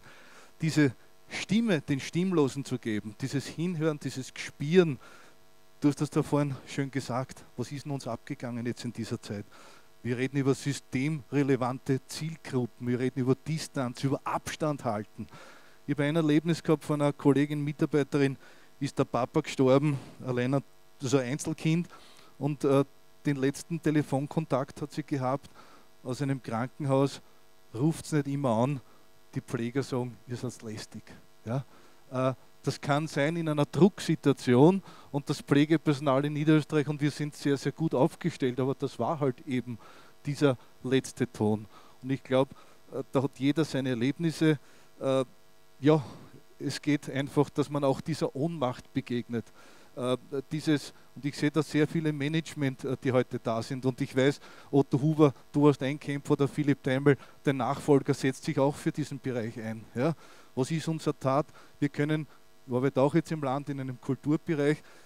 Das Thema Sterben begleitet uns alle Tage, indem man Mitarbeiterin sagt äh, oder Kollege sagt, äh, da gibt es Not oder wo man etwas hört oder auf einmal in die Personalabteilung kommt ein sogenannter Trauerpartezettel etc. Und was sagt man dann? Und das ist mein kleiner Teil, den ich gerne hier äh, zurückgeben möchte.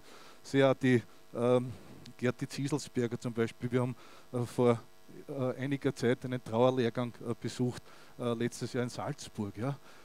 was gibst du den Menschen zurück über die Caritas mit deiner Begegnung, mit den Schaffung von Trauerräumen, dass man über den Tod spricht? Ich glaube, wie gesagt, jeder macht hier seinen Beitrag. Ich habe klug zu schweigen, tiefster Respekt vor den Damen und Herren, vor euch. Ich möchte auch Dankeschön sagen, der Claudia Tallinger. Wenn man da reinkommt und mein Aufsichtsratsvorsitzender und auch die Landeshauptfrau, meine Chefin, sagen sie immer wieder, wenn man in einen Raum reinkommt, da spürt man es. Merkt ihr, was da geht? Diese Dekoration, diese Beiträge. Applaus bitte auch für den Moderator mit viel Herz. Das ist Hospiz. Alles Gute und weiterhin viel Kraft.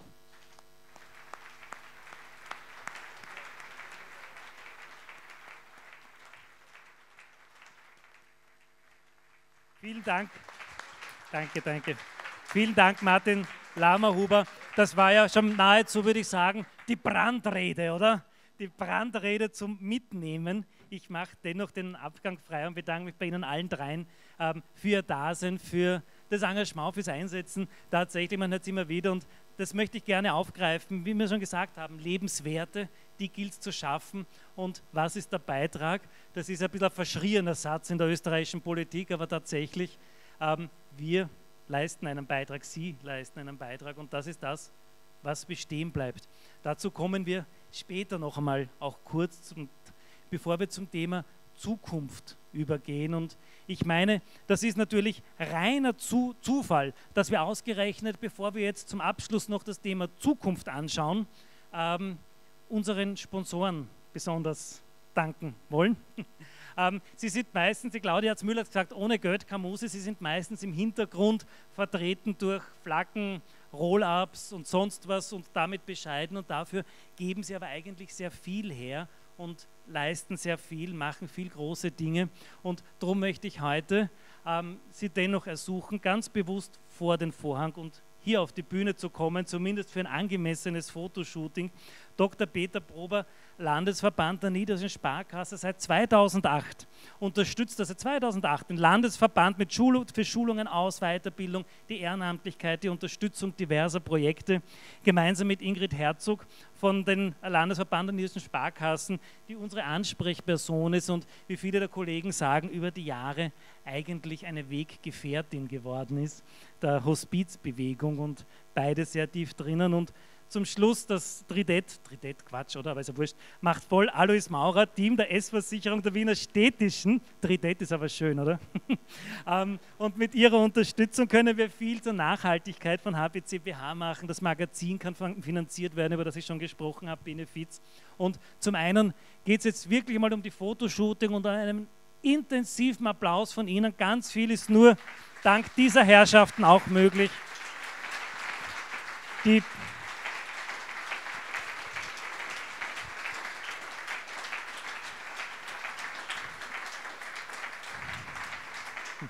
Das war der längste Applaus, gell? ein ganz besonders langer und tatsächlich die viel geben über ihre Gesellschaften, aber eigentlich dafür nichts fordern.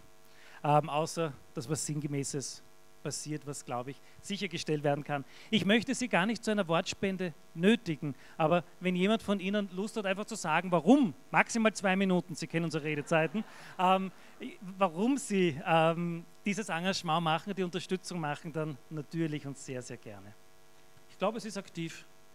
Geht das? Ja, wunderbar. Äh, Herr Seidel, ich werde Sie mehrfach erfreuen heute.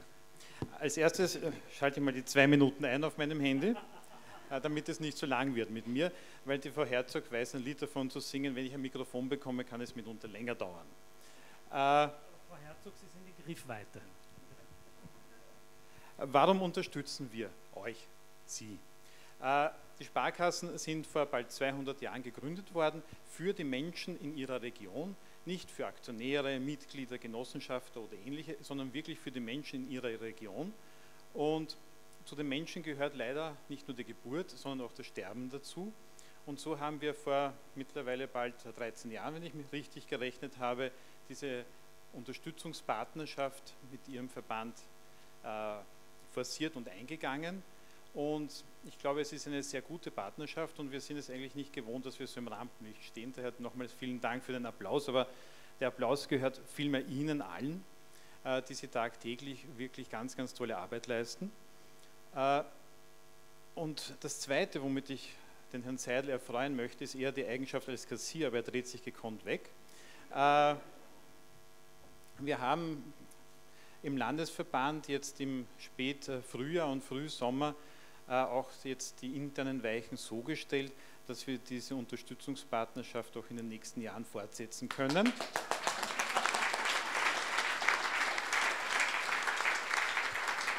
Das freut mich als Säckelwart ganz besonders. Also die Mittel sind gesichert.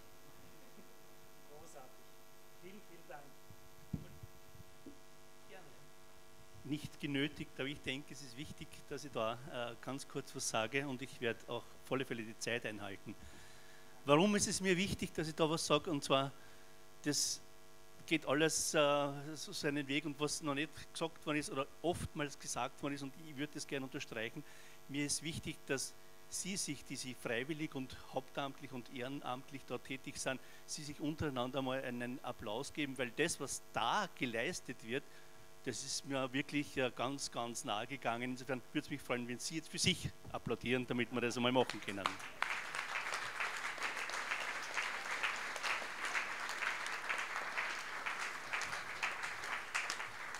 Ja, und weil es mir so nahe gegangen ist und äh, ja, die Sparkassen auf alle Fälle was Gutes tun wollen, schließe ich mich diesen Aussagen an. Ja, auch bei uns, wenn die Budgetmittel passen, wenn Budget da ist, wir werden weiter von Seiten der Wiener Städtischen für Sie unterstützend da sein. Dankeschön.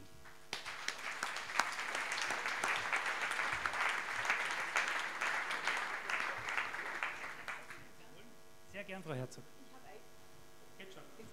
Ich bin eigentlich diejenige, die immer den Kontakt hat mit dem Büro des Landesverbandes des Hospizes. Und ich möchte auf diesem Weg auch allen Damen, die dort mitarbeiten, wirklich herzlich danken. Es ist immer eine ganz nette Gesprächsbasis, egal was wir von Ihnen wollen. Natürlich geben wir auch etwas her. Und wir haben heute gemerkt, das, was wir dort geben, das geben wir wirklich für, für, für so gute Zwecke, die uns zu Tränen rühren. Wir rühren niemanden zu Tränen. Aber das ist wirklich eine großartige Arbeit, die dort geleistet wird. Und es ist so eine nette Basis, mit Ihnen zu arbeiten. Vielen Dank. Vielen Dank.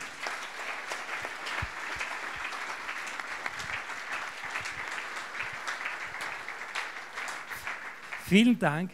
Danke auch für die Wortspenden. Danke, dass die Mittel auch weiterhin diese wunderbaren Dinge ermöglichen. Und danke auch an Sie, dass Sie die Zeit gegeben haben, denn ich denke, das ist es allemal wert, wichtig und wertvoll, nicht immer nur hinter den Kulissen zu stehen, sondern zu zeigen, wodurch vieles möglich wird. Danke noch einmal an Sie drei fürs Dasein heute.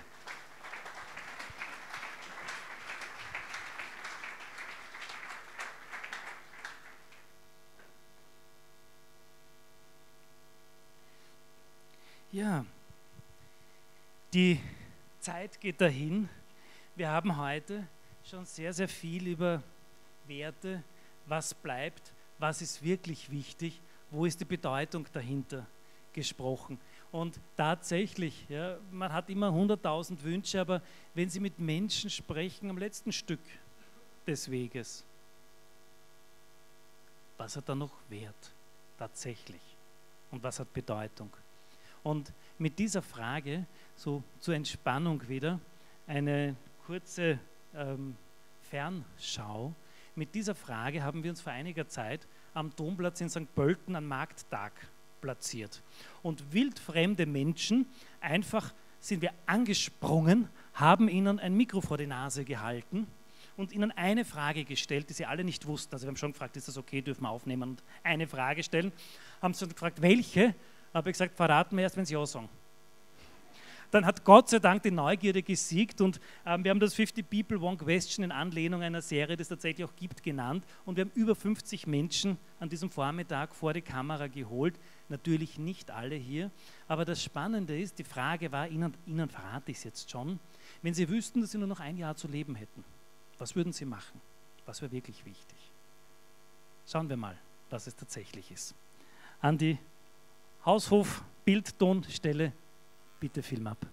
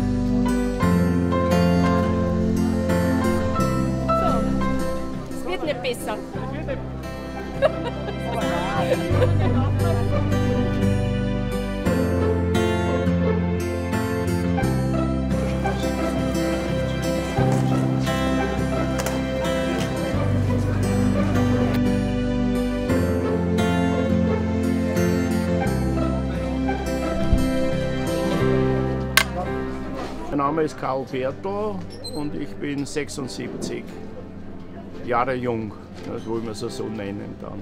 Ja. Hallo, Servus, Stefanie. Cecilia ist mein Vorname. Leopoldine Lick. Ja, ich heiße Marina Schmidt-Schmidt-Berger und bin 41 Jahre. Stefanie. Silvia. Silvia, darf ich Sie fragen, wie alt Sie sind? Ja, 56. Kögel Barbara. Hallo, bin die Trixie. Ich werde heuer 70. Ich wäre heuer 83. Ja, ja, ich heiße Gerhard. Gerhard, darf ich Sie fragen, wie alt Sie sind? 91. Ah, Gerald. Gerald. Ja. Gerald, darf ich Sie Ja. fragen, wie alt Sie sind? Was glaubst du? 64er Baujahr, 56. 38. 75. 63. Ich bin 37. Ich bin der Simon, ich bin der Julian. Mein Name ist Barbara und ich bin 55 Jahre. ja. Alexander Seidel, weiß ich, wie? Alexandra Seidler. Sensationell, oder? Ja. Christian, 47. Genau, ich bin die Gerti und bin 51 Jahre alt. Äh, 34. 24. Oder 33 bin ich, ja. so um zwei, um die Mitte 30. Mitte 30, ja. Die eine Frage, die ich Ihnen stellen möchte, ist, wenn Sie wüssten, dass Sie nur noch ein Jahr zu leben hätten, was würden Sie machen? Was ich machen tät? Hm, Das ist eine gute Frage. Mit dem haben wir eigentlich noch nie beschäftigt. Oh, das ist eine schwere Frage. Puh. Hm.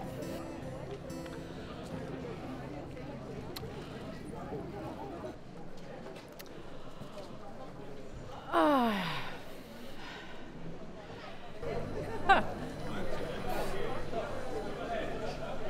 Ähm.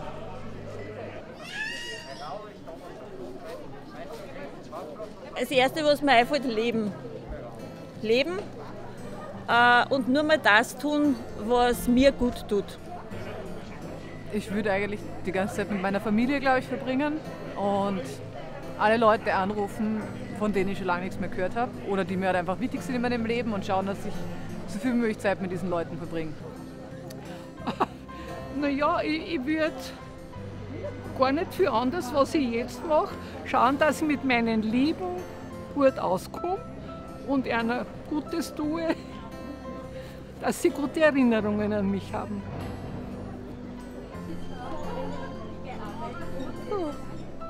Ähm, aufhören zum Arbeiten und das Leben genießen und Zeit mit der Familie verbringen. ist mir sofort eingefallen, dass ich eigentlich dahin will, wo die meisten meiner Kinder sind. Oder ja, eigentlich schon, weil die sind teilweise Amerika und so und da zieht es mich hin, wenn das nicht wäre, irgendwo hin, wo es schön ist. Reisen. Und in Italien äh, ein kleines Haus in der Toskana kaufen, im Chianti-Gebiet und mit einem kleinen Pool und jeden Tag schwimmen und gut essen. Zu allen Menschen freundlich sein.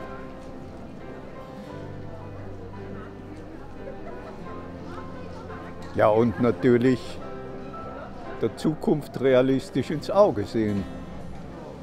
Und das wird mich in ihre Nähe bringen.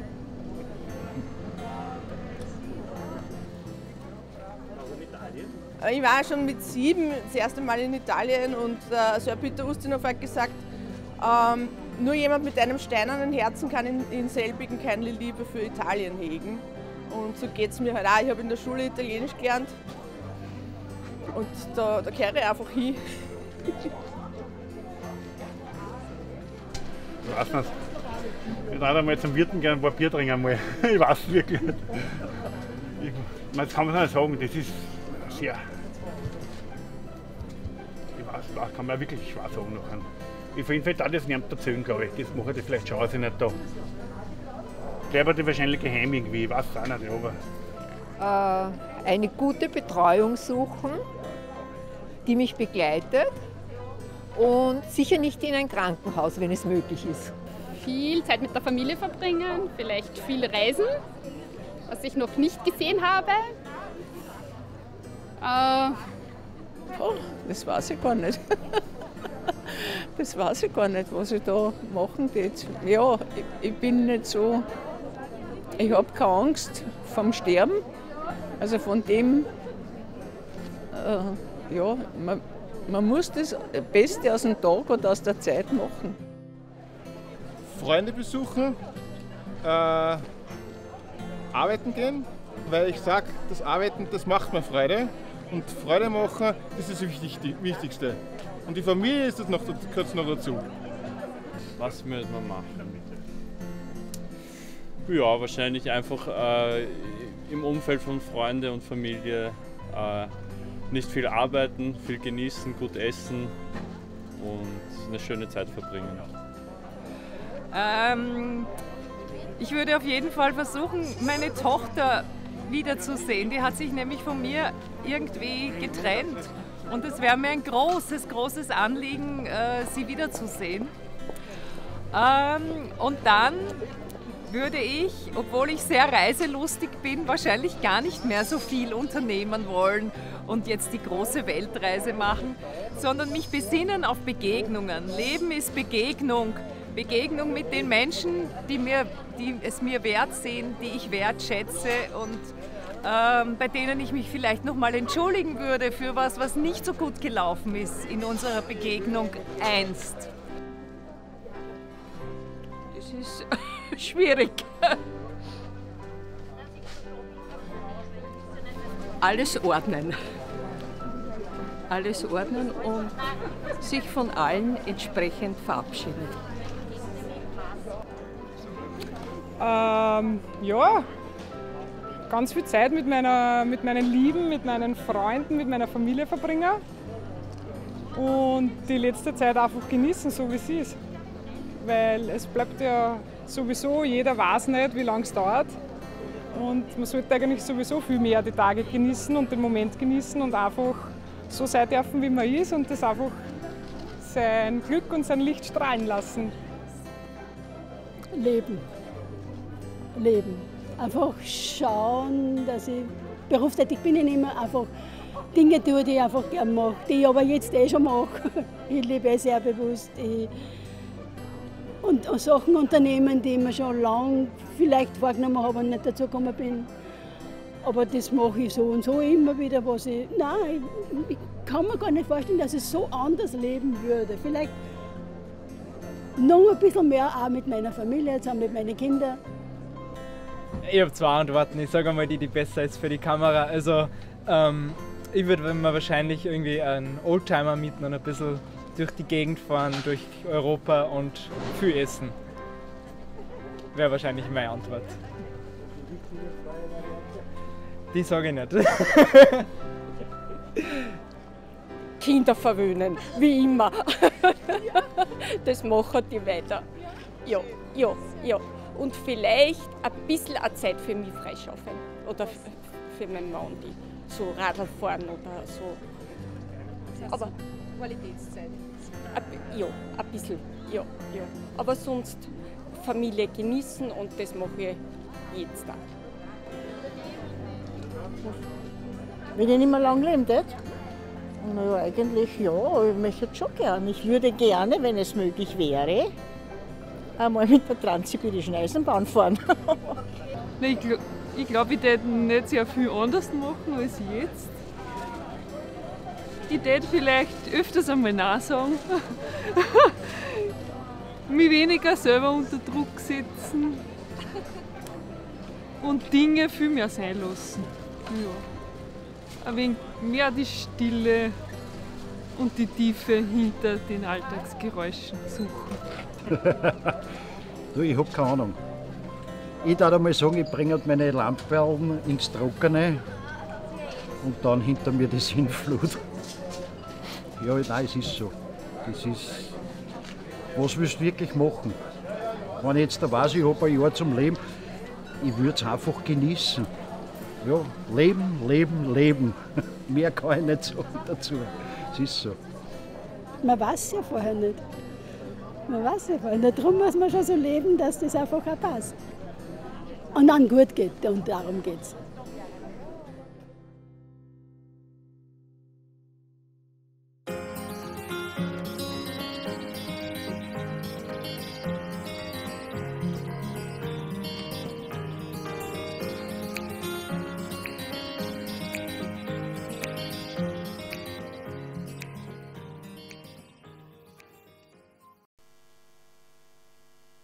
Menschen, Begegnungen, Beziehungen, einmal mehr vielleicht auch Ja zu sich zu sagen, ums Genießen. Lauter Dinge, auf die man nicht warten muss, bis man nur noch ein Jahr hat, oder? Das sind doch die Dinge, die jetzt stattfinden, die wir genau heute machen können. Wir können auch heute zu jemandem sagen, es tut mir leid oder vielen Dank, anrufen und einmal schauen, wie es geht. Einfach Lebenswerte schaffen. Und ich hoffe eben, dass wir das gemeinsam schaffen, dass wir das auch noch lange gemeinsam schaffen und dass wir das auch zukünftig als Landesverband und mit allen Organisationen gemeinsam schaffen. Und so darf ich zur letzten Gesprächsrunde, mit der wir auch zum Abschluss kommen, einladen. Sie wissen, jeder der Gesprächspartner hat drei Minuten. Und irgendwo habe ich mir sogar aufgeschrieben, wer jetzt noch eingeladen ist. Und, und dazu würde ich auf die Bühne bitten, meine liebe Kollegin im Vorstand, Elke Kohl, die zweite Vizepräsidentin der Österreich Palliativgesellschaft, Manuela Wasel, und die Präsidentin Dachverband Hospiz Österreich, Waltraud Glasnik.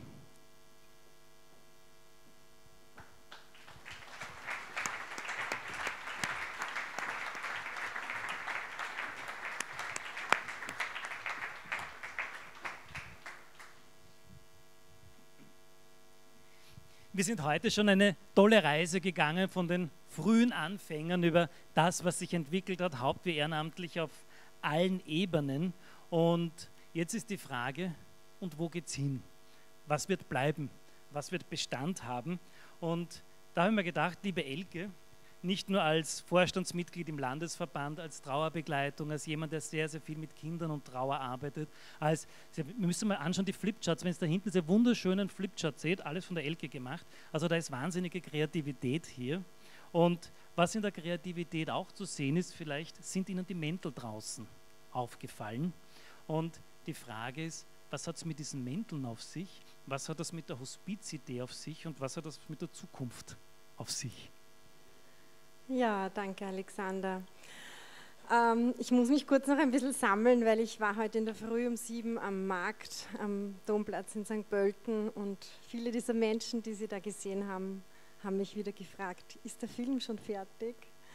Weil sie mich jetzt äh, ja noch ein bisschen mehr kennen und von einer anderen Seite kennen. Und jetzt bin ich so, so berührt, ähm, ja, dass ich mich noch ein bisschen sammeln muss.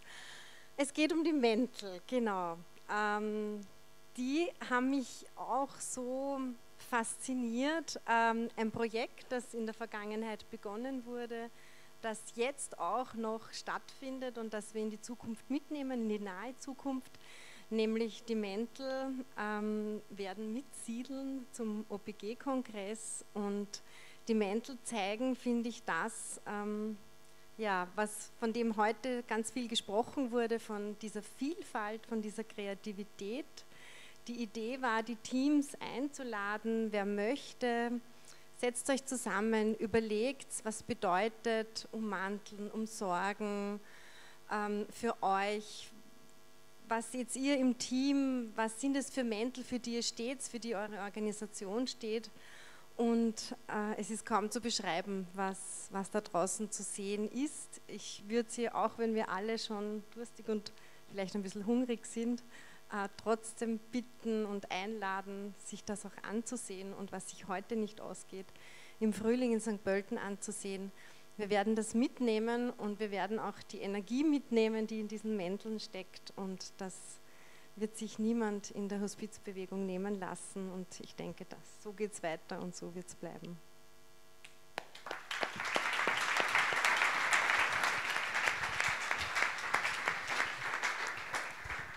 Danke, Elke. Ich bin sehr froh, dass wir für den Film die heutige Veranstaltung haben, weil damit ist letzte Nacht fertig geworden. Wenn nicht, wüsste man nicht, was wir den Herrschaften am Markt sagen, wann er fertig wird. Aber tatsächlich Ballium, das geht weiter und das führt mich gleich zur nächsten Frage, Manuela Wasel, als zweite Vizepräsidentin der österreichischen Palliativgesellschaft, die ja doch ja auch oben drüber steht, Sie sind das Zehn hauptamtlich, ehrenamtlich auf allen Ebenen tätig und mittendrin, was braucht es aus Sicht der OPG, um Hospiz- und Palliativversorgung auch zukünftig in einer so guten Qualität wie heutzutage sicherzustellen? Also wir brauchen auf alle Fälle Hospiz und Palliativcare als gutes Gesamtkonzept, wie wir das heute schon mehrmals gehört haben.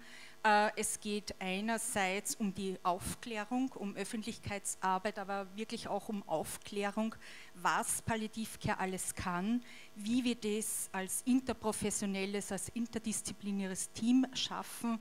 Äh, wir haben es heute so schön jetzt in diesem letzten Beitrag gesehen, jeder Mensch ist so individuell, jeder braucht was anderes. Was hier nicht dazu gekommen ist, natürlich die Erkrankung, das ist der Teil von Palliativcare im Krankenhaus, bei den Hausärzten, in der Krankenpflege. Äh, die Menschen haben Schmerzen, die Menschen leiden Symptome und das muss alles als Konzept, äh, Gesamtkonzept wirken. Die medizinische Betreuung inklusive der ehrenamtlichen Begleitung, also nur so kann es gut funktionieren.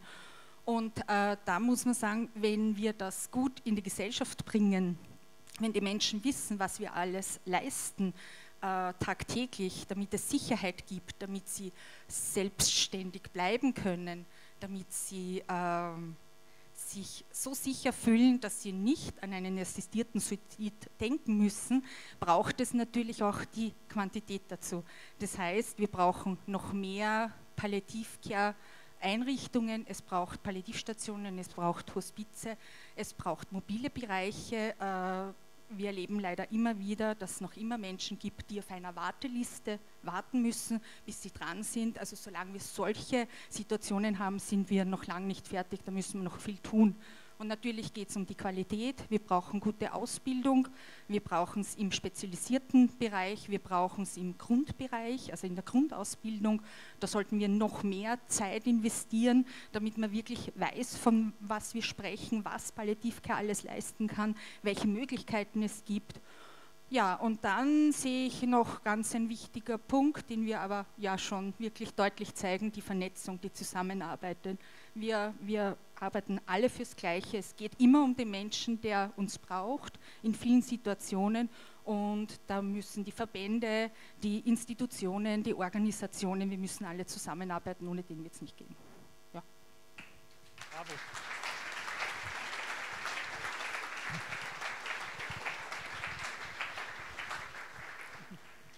Danke, Frau Wasel. Genau.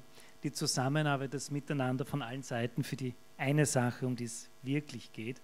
Waltraud Klasnik als Präsidentin vom Dachverband Hospiz Österreich haben Sie auch den Überblick, sind in vielen, vielen, vielen Initiativen oder auch Entwicklungen natürlich auch beteiligt und informiert. Und es gibt gerade auf Bundesebene momentan große Entwicklungen, die parlamentarische Enquete, Entscheidung vom Verfassungsgerichtshof, Wunsch nach einer einheitlichen Finanzierung. Was sind aktuelle Entwicklungen? Was können Sie uns erzählen, berichten? Haben Sie aus der großen Welt mitgebracht? Was tut sich? Zwei Minuten. Zwei Minuten. Zwei Millionen. Wir haben eine einzige Aufgabe. Und das ist zu erkennen, dass ein Kind, wenn es geboren ist, geboren wird, den Menschen braucht. Sonst könnte es nicht leben. Und wir müssen auch wissen, dass wir die Verpflichtung, den Auftrag und Menschen, die in diesem Raum und viele, die nicht da sind, machen das wahr, brauchen Begleitung, brauchen Zeit, brauchen Zuwendung und brauchen auch die notwendige Hilfe. Das kann man aber nur geben dann, wenn man auf der einen Seite die Ehrenamtlichen hat und auf der anderen Seite auch jene, die es als Beruf und als Hauptberuf, ich sage immer als Beruf und als Berufung leben. Geld ist das eine, aber ich kann dem Sterbenden nicht 10.000 Euro hinlegen, es wird deswegen nicht leichter. Aber wir müssen ihm sagen können, wo immer du lebst in Österreich, wirst du einen Platz kriegen in den letzten Tagen, Stunden, Monaten vielleicht im Palliativ- oder im Hospizbereich. Das ist unser Auftrag. Regelfinanzierung. Und lieber Herr Abgeordneter, ich sage dir was. Du, du bist gekommen, wir kennen uns ja nicht, ich kenne ihn vom Fernsehen. So sanft und so liebevoll habe ich ihn noch nie gehört wie heute. Aber ich bedanke mich bei dir. Seine erste Frage war zu mir, wie geht es dir denn jetzt mit der Regelfinanzierung? Und die Sonja steht da hinten und die Claudia weiß, wie es uns geht, was wir im Landesverband gemeinsam, also im Dachverband gemeinsam mit euch reden. Die Regelfinanzierung ist vorbereitet.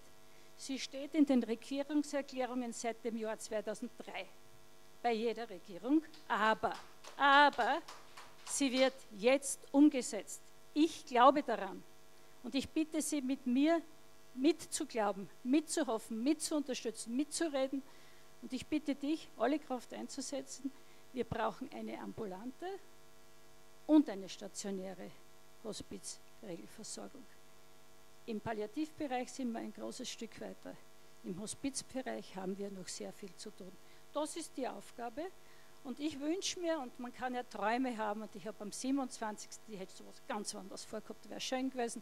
Viel schöner ist die Einladung. Ich habe sie ins Bundeskanzleramt, ich werde selbstverständlich hinfahren. Es geht um die Regelfinanzierung. Und was ich mir wünsche, stellvertretend für alle, die in der Hospizarbeit in Österreich tätig sind und eigentlich für alle Menschen, die in Österreich leben, weil in 100 Jahren sind andere Leute hier und nicht wir. Was ich mir wünsche, ist, dass ein Gesetz, das den Menschen begleitet bis zur letzten Stunde, also mit einer Regelfinanzierung, zumindest einige Tage vorher beschlossen wird, als ein Gesetz, das leider auch kommen wird und muss zum assistierten Suizid. Beides wird kommen, aber erst ein Bekenntnis zum Leben und dann ein Bekenntnis zur Begleitung und zum Schutz, dass nicht etwas geschieht, was wir nicht verantworten können.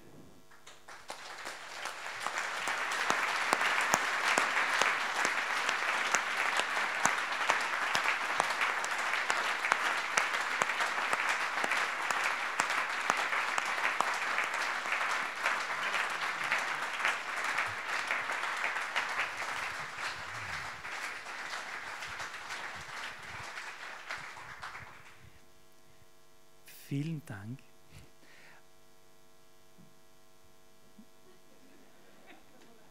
Erledigt, oder? Was soll man noch sagen? Es ist, es ist normalerweise die Aufgabe und die hochheilige Pflicht eines Moderators, dann am Ende einer Veranstaltung, und die gute Nachricht ist, oder die schlechte, je nachdem. Ich hoffe, Sie konnten es bis jetzt genießen. Wir kommen zu einem Ende, die Veranstaltung zusammenzufassen, ein Resümee zu ziehen und wenn ich den Luxus habe, dass Waltraud Klasnik hier auf der Bühne steht, möchte ich das doch direkt delegieren, denn wer wäre besser geeignet, vielleicht den heutigen Nachmittag und Abend zuzumachen als Sie und ich wäre für ein Resümee wirklich dankbar. Alexander Seidel hat gesagt, es ist eine Familienfeier, wir sind wieder zusammengekommen. Die Claudia hat uns aufstehen lassen. Wir sind hier gestanden und durften schauen. Sie sind aufgestanden und wir waren mit ihnen im Herzen verbunden. Die Musik kommt von Ladylike. Vor 14 Tagen war ich in einem Gespräch und dann hat mir jemand gesagt, was könnte ich denn sagen in der letzten Stunde zu jemandem, der stirbt. Ich weiß nicht, was ich sagen soll, ich traue mich nicht hin. Ich habe gesagt, sag, ich hab dich gern. Ladylike, danke für die Musik. Es ist angesprochen worden, die Ehrenamtlichkeit, die Hauptamtlichkeit Europa. Ich bringe auch den Gruß unserer Lena Pelteri, einer Niederösterreicherin, die in Finnland lebt. Ich heute gebeten, das ganz besonders zu sagen. Sie wird ganz, ganz stark von der Sonja Dallinger unterstützt und ich bin froh, dass es diesen Kreis gibt, liebe Claudia. Ich weiß, was das bedeutet. Aber miteinander werden wir das gut bewältigen muss aber gleich zum Miteinander sagen, das wird ein bisschen schwierig, weil ich habe im Film gelernt, jeder muss sagen, wie alt er ist. Also das heißt, ich bin 76 und ich werde es nicht ewig machen, aber es wird gut weitergehen. Es ist dafür gesorgt, dass das, das ist also eine der Hauptaufgaben, dass man dafür sorgt, dass es gut weitergeht. Im Film haben wir gehört, was man so tun kann. Ich glaube, jeder von uns war im ersten Moment auch wieder geschockt und hat gesagt, habe ich über das schon nachgedacht? Oder kann ich überhaupt sagen, wenn ich ein Jahr Zeit habe? Wir wissen ja nicht, was in fünf Minuten passiert.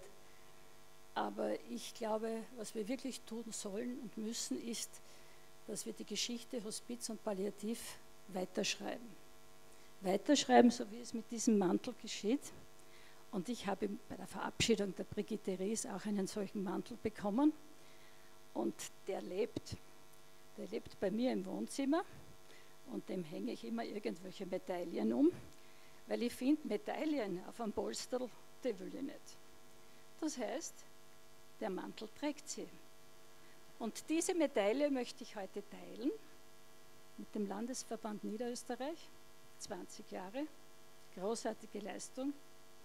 Ihr sagt selber, dass ihr die Besten seid. Ich sage dazu, ihr gehört zu den Besten, weil das kann ich nicht, weil in jedem Land auch eine andere Struktur ist. Wir haben die Bundesländer, jeder Bundesland, jedes Bundesland hat einen eigenen Garten, aber in Niederösterreich blüht wohl einer der schönsten. Und die Geschichte von Hospiz und Palliativ ist nie fertig. Sie ist nie fertig geschrieben. Wir wissen nie, wann das Ende ist, weil schon wieder ein neuer Anfang begonnen hat. Und in dem Sinn möchte ich etwas sagen, weil es, glaube ich, auch dazu gehört. Unser Leben liegt in Gottes Hand. Danke.